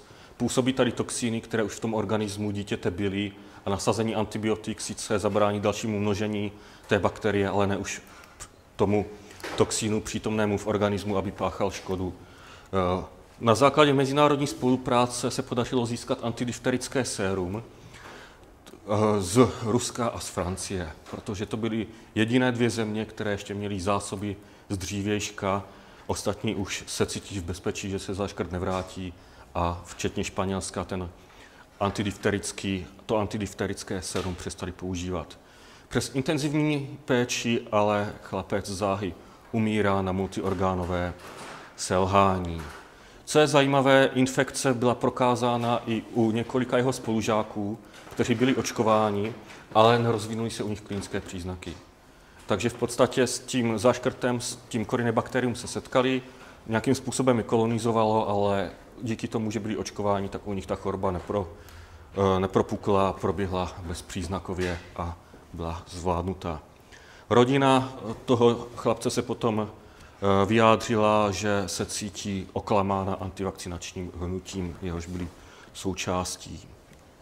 Poslední eh, z těch argumentů, o kterých bych se zmínil, proč kojenci dostávají tak velkou koňskou dávku vakcín, a to tak velkou jako dospělí. Tady ta, tady ta otázka ale může být položena úplně opačně. Proč dospělí dostávají tak malou dávku jako kojenci? Eh, vakcína, jejím cílem je, aby v místě aplikace vyvolala aktivaci imunitního systému a rozhodně není Eh, cílem, aby se dostala do organismu systémově v nějaké stabilní koncentraci, jako máme třeba u penicilínu nebo klasických nízkomolekulárních léčiv, kdy se počítají nějaké distribuční objemy a tak dále. Naopak u vakcíny je eh, žádoucí, aby se systémově nešířila a ty uh, lymfocyty jsou schopny pracovat stejně u toho dítěte jako u dospělého, takže dejme tomu, že ta dávka kolem 20 mikrogramů antigenu na dávku je stejná a efektivní pro kojence, pro dospělého člověka, pro koně i pro laboratorní myš. U všech je schopná vyvolat imunitní reakci, protože tohle není klasická farmakologie závislá na váze, takže ta váha je v podstatě druhořada a ne bere se na ní takový ohled, protože tam nedochází k distribuci v systému toho léku. Eh, je lepší posunout eh, vakcinaci do pozdějšího věku. Z toho, co jsem ukazoval, tak zjevně ne, protože právě v tom věku, kdy se očkuje, tak to dítě je v největším riziku. Zvláště co se týče hemofila, pneumokoků, meningokoků, dávivého kašle, případně některých těch virových infekcí. Co se týče zdrojů informací, které lze považovat za kvalitní a poměrně objektivní, tak bych na závěr uvedl pár příkladů. Jsou to stránky doktora Petráše, www.vakciny.net. Tam ta stránka už nabopnala tolik, že autor přišel s částečným spoplatněním, takže k některým informacím se dá dostat volně. K těm nejodbornějším s kompletními citacemi za drobný poplatek. Koalice pro podporu očkování, koalice e-stránky CZ, stránky eh, profesora Chlípka, očkování pro každého. Eh, přínosem může být i, můžou být i stránky slovenské, lovci šarlatánů nebo šarlatánou, což jsou stránky vytvořené studenty a studenty medicíny a lékaři z Košické lékařské fakulty a fakultní nemocnice. To je teda ode mě asi všechno. Doufám, že bude bohatá diskuze a že vás téma chytlo aspoň tak jako Mourka tady. Můžete to tam nechat ještě Určitě.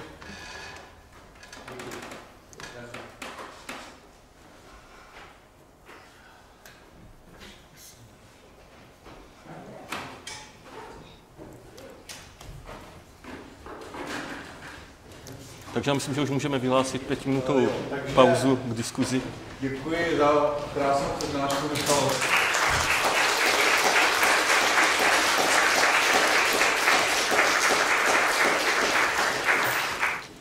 Takže já tady zahajuji oficiální část diskuze a uh, má tady někdo nějaký první příspěvek nebo otázku? Martin Žáček? Jsem chtěl říct jenom takovou poznámku, že jsem si všiml ten začátek té přednášky, jak se uh, o tom, že, že jsou skupiny lidí a až takový jako hnutí odpůrců proti očkování, že to není úplně v té rovině věda a nevěda, ale vlastně, když se někdo rozhoduje očkovat nebo neočkovat dítě nebo sebe, takže vlastně to není přírodovědecký rozhodnutí, ale ekonomický rozhodnutí. Vlastně hodnotí jako přínosy a rizika podle toho, jak on je jako subjektivně rozhoduje, jak, jako pocituje, k jakým informacím se dostal. A v té souvislosti vlastně musíme vzít úvahu náš zdravotnický systém, který do jisté míry ty rizika úplně přebírá za člověka, takže si vlastně bere uh, jakoby trošku to právo zase vzít si zároveň část svobody a že pravděpodobně by se ale lidi rozhodovali jinak, kdyby jsme jako zdědili nějaký zdravotní systém a kdyby lidi pocitovali víc ty rizika. Třeba by museli, když by se rozhodovali neočkovat nebo dítě neočkovat, a teď by museli jednat s pojišťovnou a podle mě ty rizika nemá, nemají do toho mluvit ani poslanci, ani ministerstvo zdravotnictví, ale to je primárně věc té pojišťovny, protože ta zná jakoby data a ta je i motivovaná vlastně, aby měla zdravou populaci, protože potom je to stojí peníze. A ona by vlastně měla s těma lidma jednat. A teď oni kdyby věděli, že je to bude stát vyšší pojistný, nebo že ta pojišťovna po nich chce splnit něco navíc, že si řekne, je to klient, vytvoříme program pro odpůrce očkování, ale budou muset třeba mít víc jako kontroly nebo něco takového. A je docela možné, že těch ortodoxních skalních odpůrců je třeba málo. A pak je třeba velká množina nějakých lidí, kteří jsou trochu jako znejištění, a oni se tak rozhodnou, protože to nic nestojí. A jinak ale oni by zase byli znejistění těma rizikama, zase jim třeba řekne ta pojišťovna nebo tak. Je to přesně tak. Je to přesně tak, jak říkáte.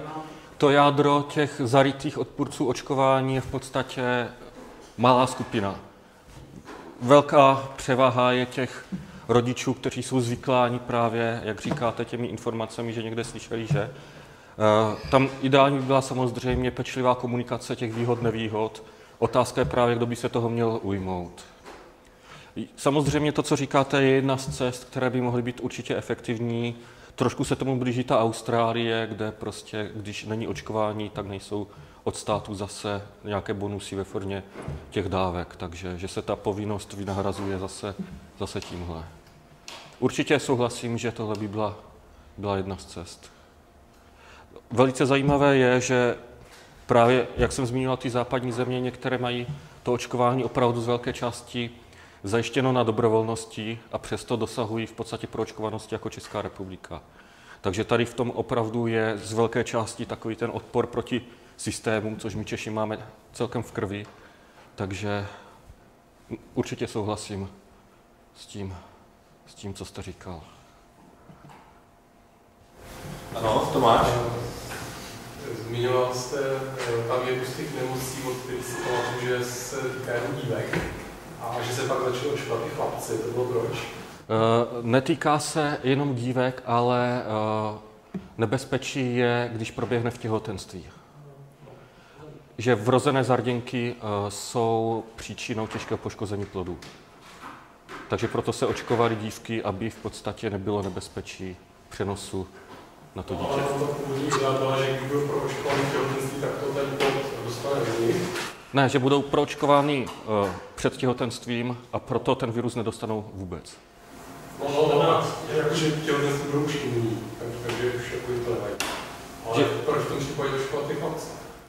Uh, protože i u chlapců se ta nemoc objevuje.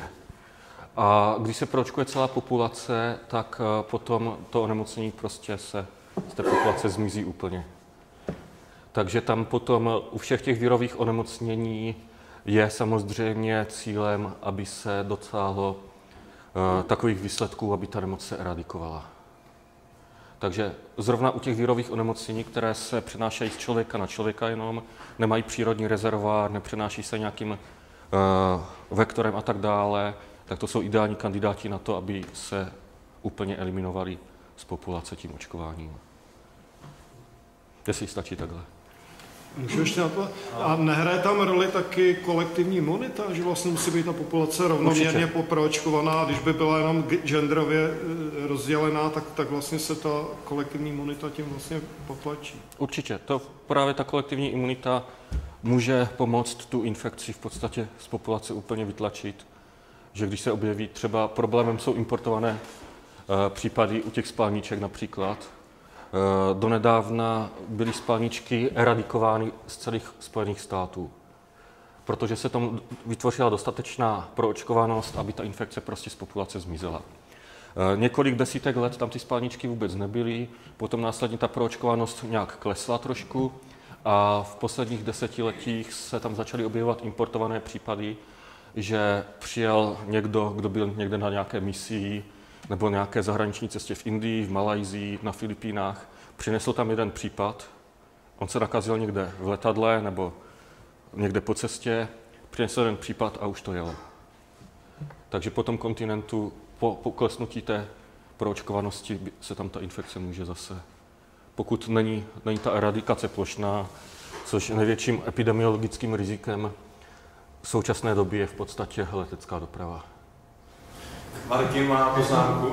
Ty kolektivní imunity, které jsou jako strašně krásné simulace, které mají vždycky to společného, že samozřejmě je to vždycky zjednodušený model, ale vždycky fungují tak, že je tam nějaký kritický procento, který když je neproočkovaný, tak ten průběh je, že vypukne epidemie a pod to procento jako nevypukne.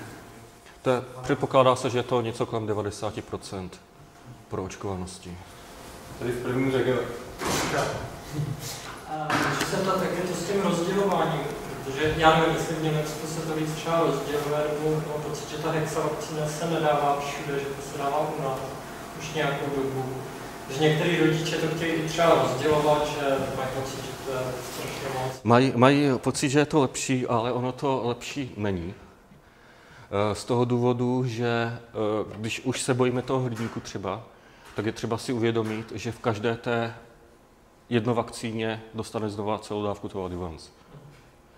Kromě toho samozřejmě dítě po každé je stresováno aplikací, po každé riskuje ty nežádoucí účinky i ty předvídatelné, jako je nějaká subfebrilie nebo e, otoky, takže v podstatě se tím víceméně násobí to riziko nežádoucích účinků. E, samozřejmě je to možnost aplikovat to rozděleně, ale e, ten Infanrix Hexa, co se používá teď, tak je založen na subjednotkových vakcínách, a co se u nás používala ta starší československá Alditepera, tak tam byly v podstatě celé mikroorganismy.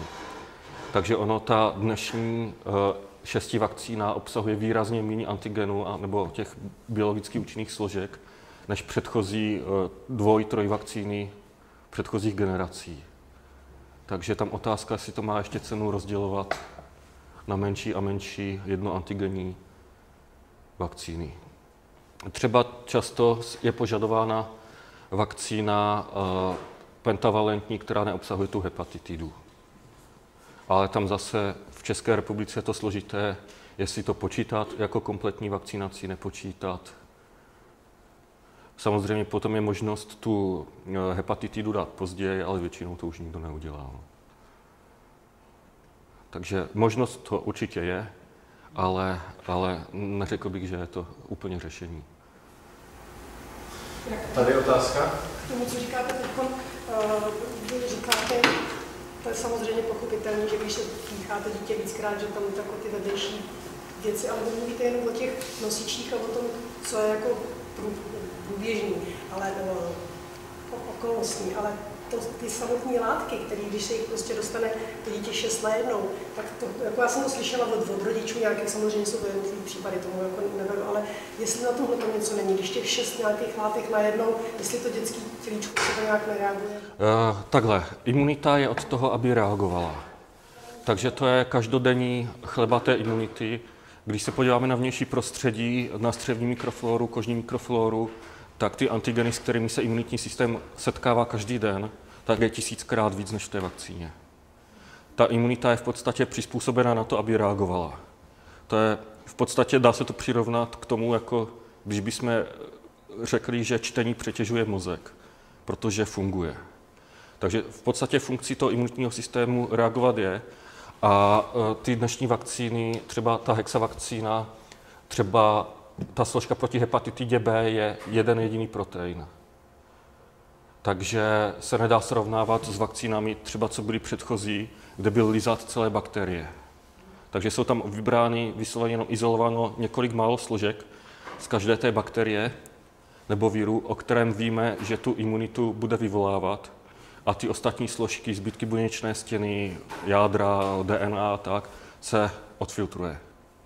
Takže tam Oproti, oproti těm vakcínám, co se používaly třeba za Československa, tak těch opravdu imunogenních složek je tam opravdu, opravdu méně. Honza?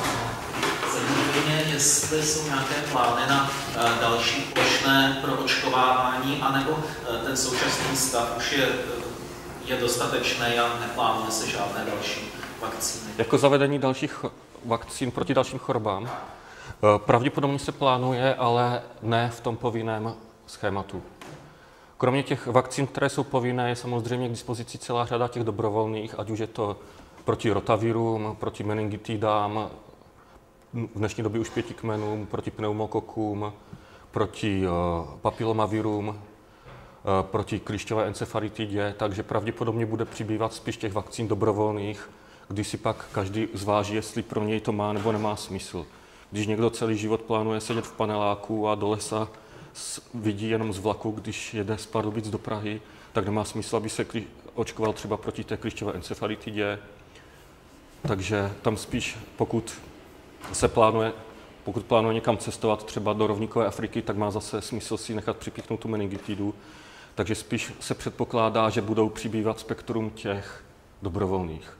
V podstatě ty, co jsou povinné, tak jsou ty, které jsou neinfe- neinfekčnější nebo uh, můžou mít nejtěžší následky a tam už asi v nejbližší době nevím o tom, že by někdo plánoval. Co se teda plánuje od příštího roku, tak je spíš změna ve schématu, kdy já jsem říkal, že u toho Infanerixu, té hexavakcíny, některé země, země očkují 3 plus 1, některé 2 plus 1, tak asi od příštího roku nebo přes příštího se bude zavádět 2 plus 1 i u nás. Takže se bude dávat té, eh, té hexavakcíny v podstatě o dávku míň, a bude tam nějaká změna v časovém schématu u té trojvakcíny protivírové. Ale že by byly změny přímo v těch složkách, tak v příštích dobách nepředpokládám. Poslední změna, co byla výraznější, tak bylo naopak vyškrtnutí té tuberkulózy kvůli tomu, že se ukázala jako ne, ne úplně zcela efektivní a mohla mít potenciální vedlejší účinky opravdu výrazné. Ano, ještě tady průběh je. A co byste chtěl ještě, aby bylo jako povinky vyblokovat? Co si myslíte, že by bylo... Já myslím, že... Já myslím, že tady už asi povinně bych nic nepřidával. Otázka jsou ty pneumokoky, které můžou způsobovat celou řadu infekcí, ale tam zase ta ochrana není stoprocentní protože když někdo má třeba horší imunitu, tak i když je očkovaný pneumokokem, tak může dostat třeba stafilokoka. Takže já myslím, že tady to očkovací schéma je celkem dostačující. Co má smysl, tak spíš, když se někam vycestovává, tak samozřejmě dopíchnout nějaké ty žluté zimnice, cholery a tak dále. Ale pro naše podmínky ty nejhorší infekce jsou podchyceny. Možná by šlo uvažovat o hepatitidě typu A, ale oproti tomu B ta není zas tak agresivní, takže asi bych to nechal, jak to je. Ano. Co si myslíte o očkování proti chřipce? Proti chřipce je očkování určitě dobrá věc. Takový ty případy, co se říkají, že když člověk, že to není na 100%, tak to na 100% není nic, ale když člověk, slyšela jsem zase, co si povídají, že když člověk onemocní chřipku a je očkovaný, tak to nerozpozná ty příznaky a může to mít třeba horší, horší průběh. To, se povídá mezi lidmi. No tak když nerozpozná ty příznaky, tak to bude spíš lehčí průběh. No, nějak se to asi pozná. Eh, tady u, té, tady u té chřipky je největší problém, že lidi často zaměňují chřipku a běžné nachlazení. Chřipka je onemocnění s vysokými horečkami, s respiračními příznaky, takže s těžkým kašlem, s obstrukcí dýchacích cest a často na ní nasedají potom bakteriální infekce. Často se stane, že se člověk nechá očkovat proti chřipce a dostane nějaký jiný virus, běžné nachlazení s pětidenní horečkou a řekne, já jsem se nechal vakcinovat a dostal jsem chřipku. A přitom měl nějaký, já nevím, adenovirus, rinovirus nebo nějakou, nějakou ne, nechřipkové nachlazení. Ta chři, pravá chřipka, ta u starších nebo imunosuprimovaných osob může být celkem dost ohrožující na životě a tam je opravdu hlavní rozeznat to, co ta chřipka je a co vlastně není. Třeba ve Spojených státech eh, je chřipka úplně běžným, běžnou součástí zaměstnaneckých benefitů, že u nás se, já nevím, dávají stravenky, tak tam nabízí očkování a e, využívá to 80-90 My, když jsme přijeli do Spojených států na stáž, tak se na nás jako na Čechy dívali na exoty, že nejsme očkovaní proti chřipce a nechápali to v místní nemocnici. A pomalu nás tam nechtěli pustit. To jako každý rok by se měl člověk nechat očkovat nějakým novým kmenem nebo... Eh, teď už je nová vakcína, která je čtyřkmenová, takže tam zase ta pravděpodobnost pokrytí je zase větší než u té, u té minulé generace. Na čem se teď pracuje, tak je vakcína proti chřipce, která by byla neinjekční. Neinjekční. Že by se aplikovala, eh, někde už je i registrovaná, která by se aplikovala formou nosního spreje. Takže by se stimulovala přímo jenom ta slizniční imunita a neriskovaly by se možné nějaké, násled, nějaké uh, reakce potom v pichu. A tohle by bylo asi uh, ideální řešení, protože tam proti té každoroční revakcinaci jedním šplíchnutím do nosu by asi nikdo nic nenamítal. Je pán na druhé řadě? Já mám tak zeptat trošku mimo, takže nemusíte odpovědět. Já jsem dosledoval, že tam si komunistická Čína ne, není zdrojem tolik infekcí jako bývalé britské dominium Indie. Proč je tomu tak? Možná můžete to nějak Tam uh, těžko říct. Uh, nemám, nemám informace o tom, jak je Čína v současnosti proočkovaná, což oni ty statistiky, i kdyby je měli, tak je asi nepustí. A otázka, jestli tam nemá vliv i právě intenzivní do Evropy teda se zanáší většinou z té Indie kvůli tomu zvýšenému pohybu, ale to nevysvětluje teda tu frekvenci přímo na místě.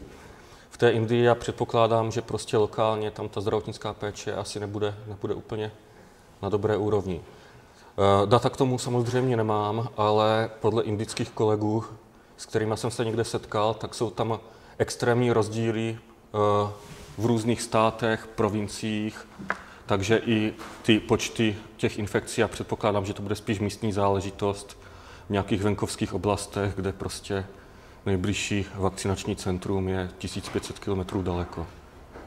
To podle mě na to může mít zásadní vliv. Pan Nejchvar? Eh, děkuji. Já mám eh, jednu spíš osobní eh, dotaz. Po té, co jsem prodělal Guillain-Barreho syndrom, mě bylo doporučeno, abych se vyhnul očkování proti chřipce. Má Výborný to, dotaz. Má to racionální základ? Má to částečně racionální základ, částečně ne. Protože u vakcíny proti chřipce, u jedné šarže jednoho typu... To byla ta prasečí chřipka? Se prokázal, to byla španělská. Španělská. Eh, ta španělská běžela v těch někdy počátkem století a tuším v 60. nebo 70. letech se ve Spojených státech objevil podobný kmen té španělské. Takže byla zahájena intenzivní vakcinační kampaň a u jednoho typu jedné šarže té vakcíny se objevilo zvýšení pravděpodobnost Guillain-Barrého syndromu. To je v podstatě jediný prokázaný případ opravdu jasné souvislosti mezi očkováním a autoimunitou, ale to zvýšení bylo o jeden případ na milion obyvatel. No, ona ta incidence je nepatrná, ta jeden na 100 tisíc, tuším, nebo dva, to, to dílem Ta incidence bude podobná jako to zvýšení, že v podstatě, dejme tomu, že to riziko se zdvojnásobilo, ale pořád je poměrně zanedbatelné. Ale na druhou stranu, prodělání chřipky je taky jasný spouštěč Guillain-Barrého syndromu. Takže tam eh, ty dnešní vakcíny už tam u nich eh, ta souvislost pozorována není. Otázka je, jestli věřit té vakcíně, anebo riskovat, že přijde ta chřipka a ta chřipka prokázaným spouštěčem je samozřejmě doteď. Tam to riziko je, v podstatě prodělání chřipky je výrazně ořád vyšší rizikový faktor, než i to očkování, u kterého to bylo prokázáno. Potom ještě uh, spouštěče můžou být nějaké střevní infekce, ale... eh, ten... Eh, no, prostě... Uvažuje se o, o, víc, o víc infekcích, že můžou být spouštěčem. A druhou otázku, to je zase jiná, zase kapitola. Vyváženost v diskuzích je bych řekl téměř až zločinej, zločinná povinnost. Protože, jak jsem si všiml, eh, vždycky, když diskutuje někdo, kdo zastává buď to spikleneckou nebo alternativní teorii, ten má vždy pohromadě sice chybné, ale jasné a jednoduché argumenty. Zatímco člověk, který o tom něco ví, tak nikdy nemůže říct něco na 100%, tak protože znalost mu to, to čili e, není možný v diskuzích porazit tyhle ty názory. A to jsem si všiml, jak v diskuzích, které probíhají třeba ve sdělovacích prostředcích, anebo i na takovýchhle fórech, kdyby se tady objevil někdo z protivakcinační iniciativy, tak vyhraje desetku jedný umlácením. No, ta sebejistota je obrovská. Tak.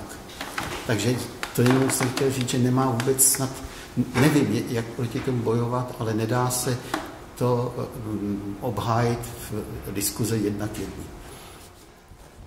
Zase můžu jenom souhlasit. Přesně, přesně stejný pocit z toho mám taky. Čím víc jsou ty argumenty iracionální, tím jsou podstatě jednodušší řešení vždycky zní, zní dobře v medicíně, ale těch jednodušších řešení není mnoho. Každý problém má své jednoduché, snadno pochopitelné a chybné řešení. Chybné řešení. Tamhle pán se hlásí. Já jsem se chtěl zeptat, jestli existují nějaký přehledy o motivacích právě těch odborníků, kteří jsou antivakcinační, jestli jsou to jenom ty prachy, nebo jestli jsou ještě nějaký jiný motivy těchto těch lidí. Protože jsou to lékaři třeba. Těch lékařů... Za sebou školy, který... Těch lékařů není až zas tak tolik. Uh, takhle. My můžeme přemýšlet o tom, jestli tomu věří, nebo jestli to dělají opravdu z těch finančních pohnutek. Ale to nám oni neřeknou asi. To je otázka, jak tohle, jak tohle zjistit.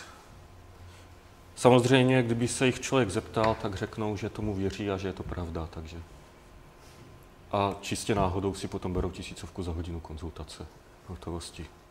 A ještě se to přes pojišťovnu většinou vykáže po druhé. Ano?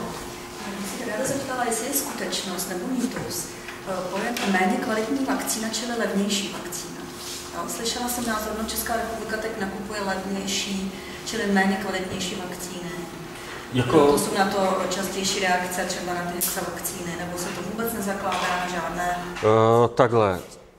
Tam těžko do tohohle nějak proniknout hlouběji, protože ty nákupy těch povinných vakcín pro stát, to je v podstatě smluvní cena.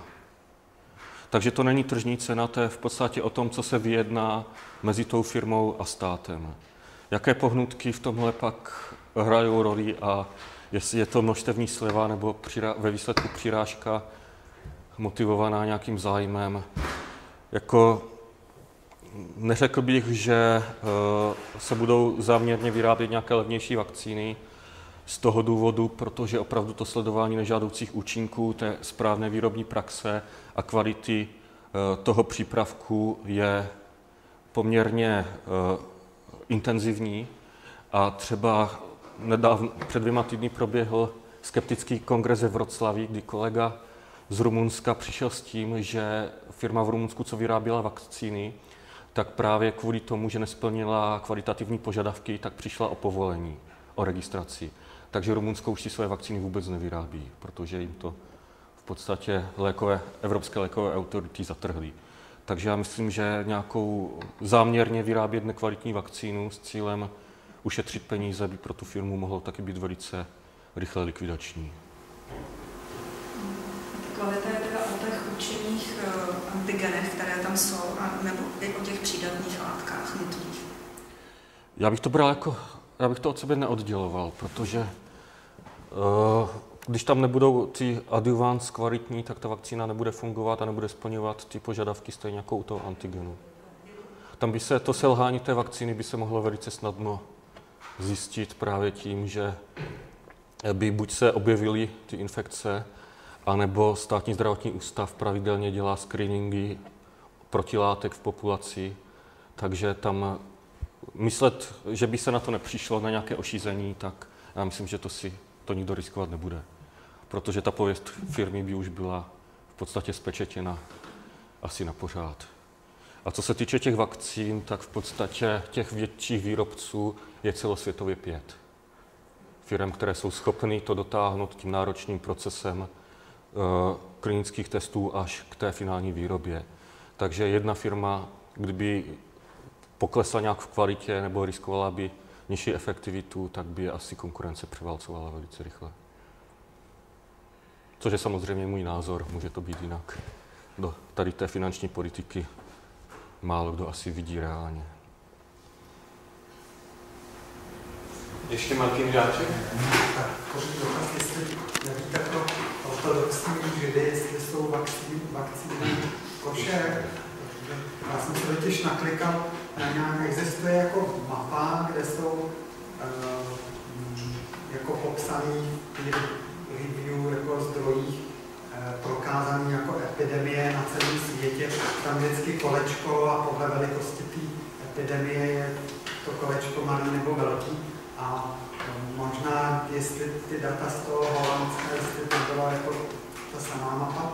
A já jsem se tam zase doklikal, uh, někde v New Yorku zase byly velké epidemie a byly to často třeba orto skupina, ale opravdu to byly tisíce nemocných ortodoxní židi odmítat, odmítači uh, vakcín. A někdy před pár dny jsem byl nějaký košer pivo, který byl nefiltrovaný a nepasterizovaný, měl nějaký puls od nějaký židovský asociace, že to opravdu můžou pít, tak jsem se zamýšlel, nakolik tady ty principy samozřejmě původně byly vymyšlený, aby těm lidem jakoby pomáhali v nějakým prostředí. Nenapadlo mě, že za pár dní vlastně půjdu takhle na tuhle přednášku a že tam se to spojí s těma vakcínama. Já se obávám, že vakcíny určitě jdou brát jako nekošer, už z toho důvodu, že se v technologii používá vepřová želatina. Takže je možné, že s tímhle můžou mít některé náboženské směry problém. Otázka spíš osobního pojetí té ortodoxie, ale určitě ty epidemie ve Spojených státech u ortodoxních židů byly. To máte pravdu, to byly, myslím, dvě nebo tři, eh, kdy právě došlo k importované infekci někde z Ázie a rozjela se tam velice slušně. Byl to, myslím, New York právě a byly to ještě nějaké další města těch protestantů, jak jste zmiňoval, tam je to asi nějaký zase princip, jako mají jeho proti třeba... V podstatě.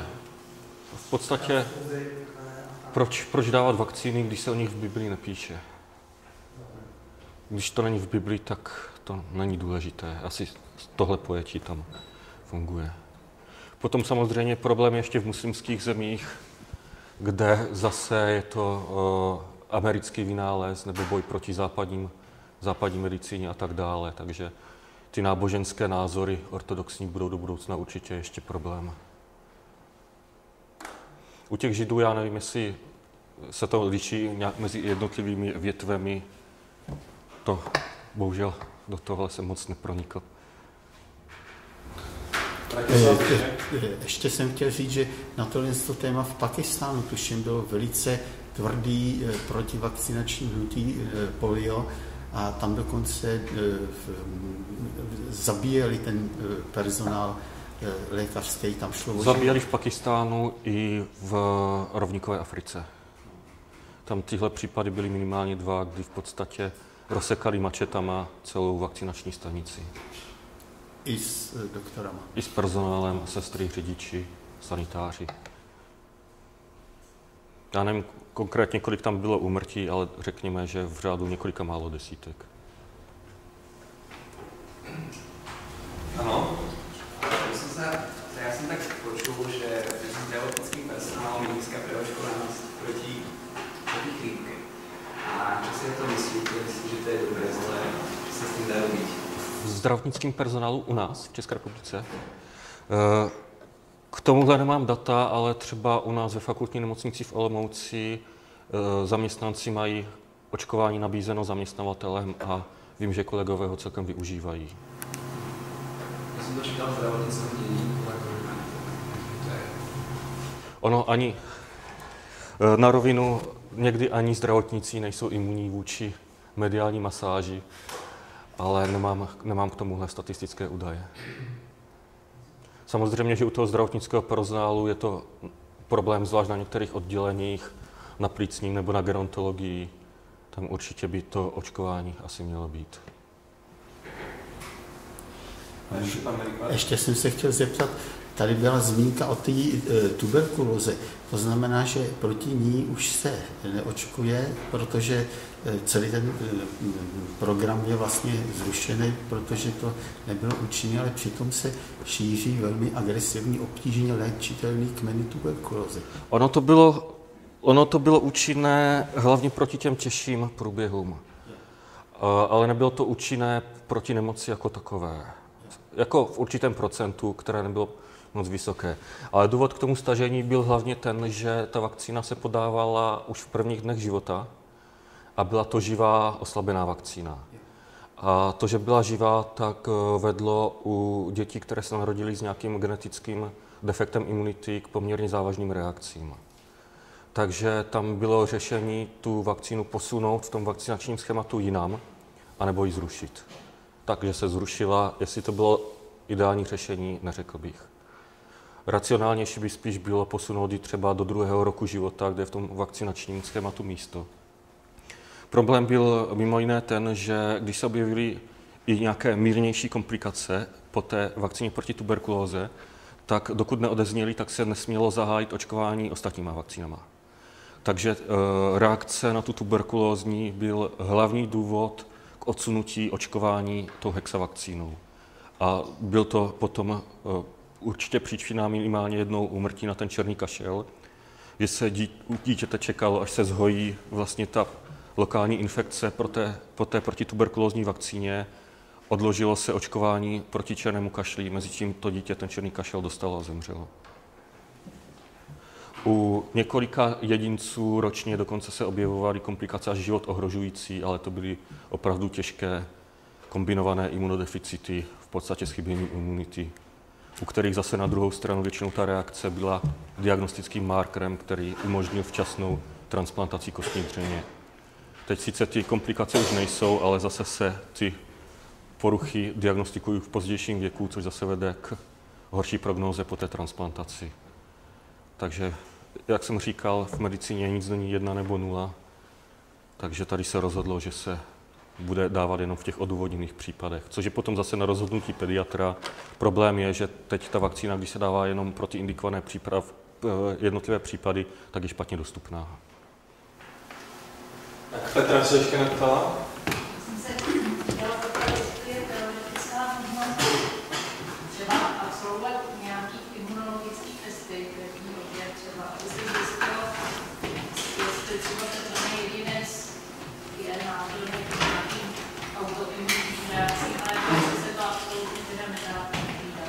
Tak v podstatě náchylnost k autoimunitním reakcím. Eh, tam, že by bylo přímo jasné, co ty autoimunitní reakce spouští, tak zatím není, ale jsou známy určité genotypy, které představují zvýšené riziko. Ale těch jednotlivých genotypů, hlavně v HLA systému, které predisponují k nějaké autoimunitě, je celá řada a aby to nebylo tak jednoduché, tak gen, který predisponuje k rozvoji jedné imunity, může být protektivní proti rozvoji jiné. Takže je to v podstatě složitá matice rizik, z které se dost těžko vyvodí nějaký klinický závěr, ano nebo ne. Co se dá, dá se testovat přítomnost protilátek, že třeba u těch uh, virových infekcí může část populace tu infekci prodělat před očkováním a pak by se nemuselo, nemuselo přeočkovávat. To možné je, ale nějak předpokládat na základě nějakého vyšetření riziko autoimunity velice nejasně. Výjimkou je v podstatě Bechtěrevova choroba a celiakie, kde ty genetické markery jsou poměrně, poměrně výrazné, ale zase u těchto chorob, tuším, souvislost s vakcinací nikdo ani nepředpokládal. Ještě tady pán první řekl. Já jenom ještě bych k tomu dodal jednu větu. Na druhou stranu u toho jedince, který by měl sklony k autoimunitě, tak eh, když by nedostal tu vakcínu, tak tu autoimunitu může spustit ta následně prodělaná choroba.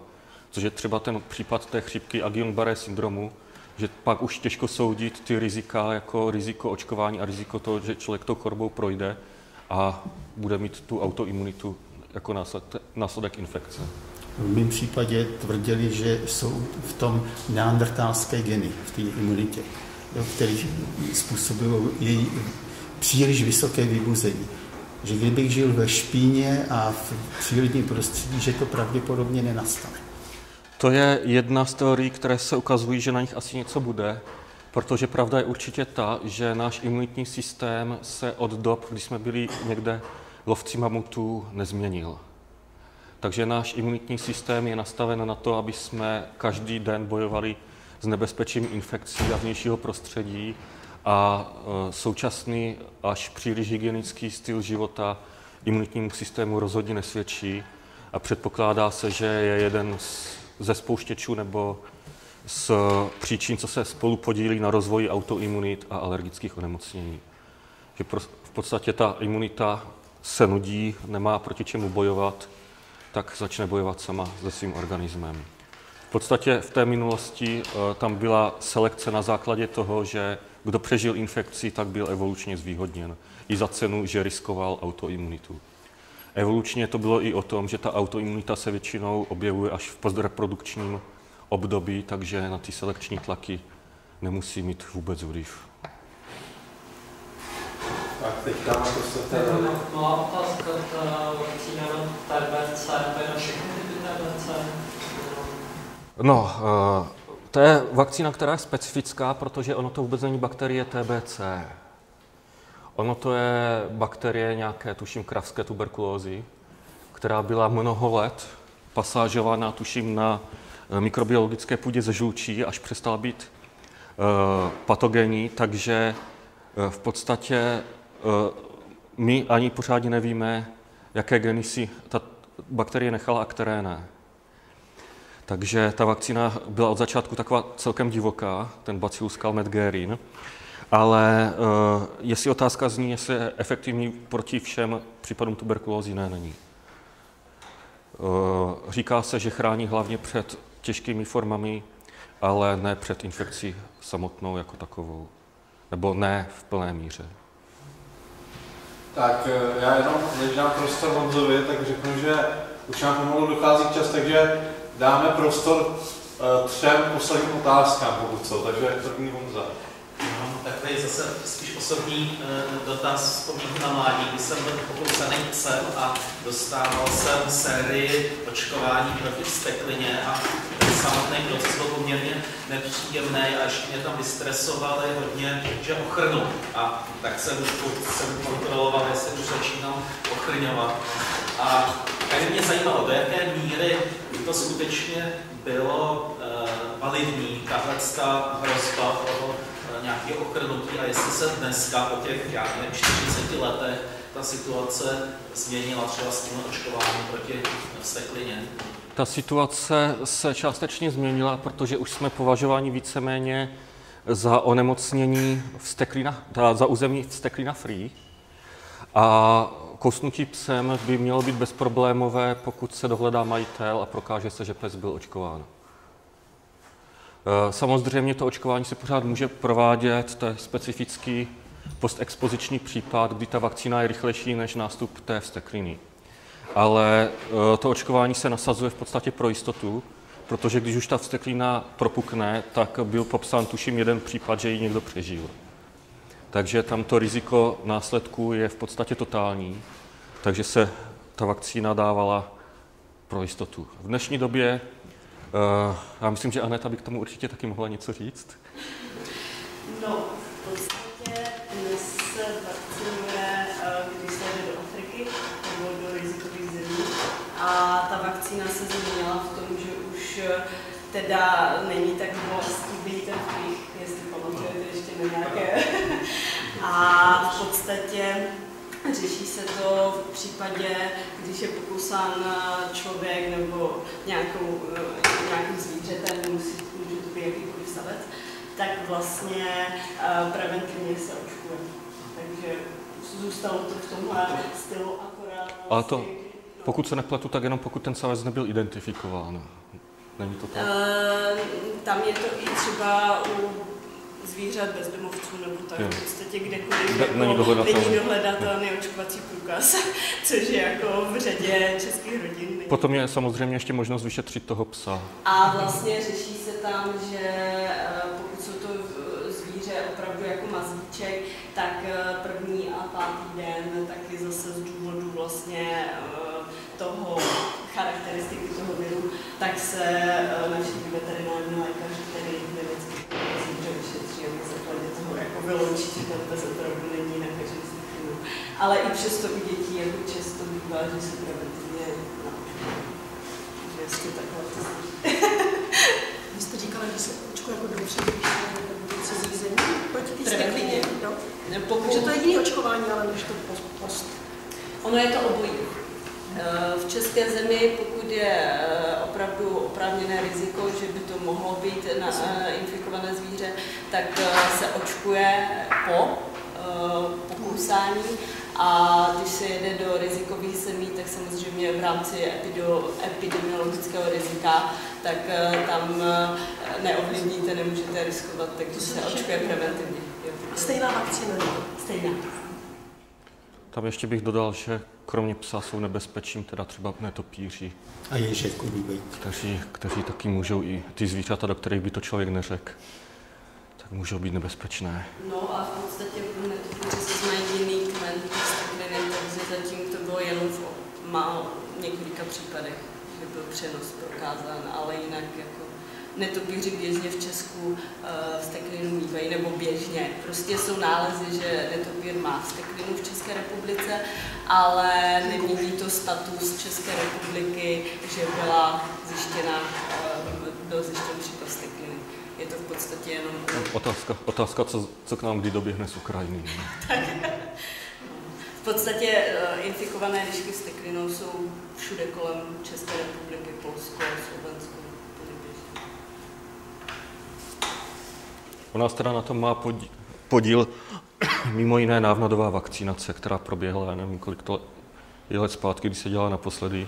2013, no a vlastně to je celoplošná celorepubliková vakcinace volně žijících zvířat. Je to teda zaměřeno na lišky a pokládá se to všude v lesích. Tam není dobré potom na tu návnadu moc šahat protože není nic hloupějšího, než se nakazit vsteklinou z návnady na lišky.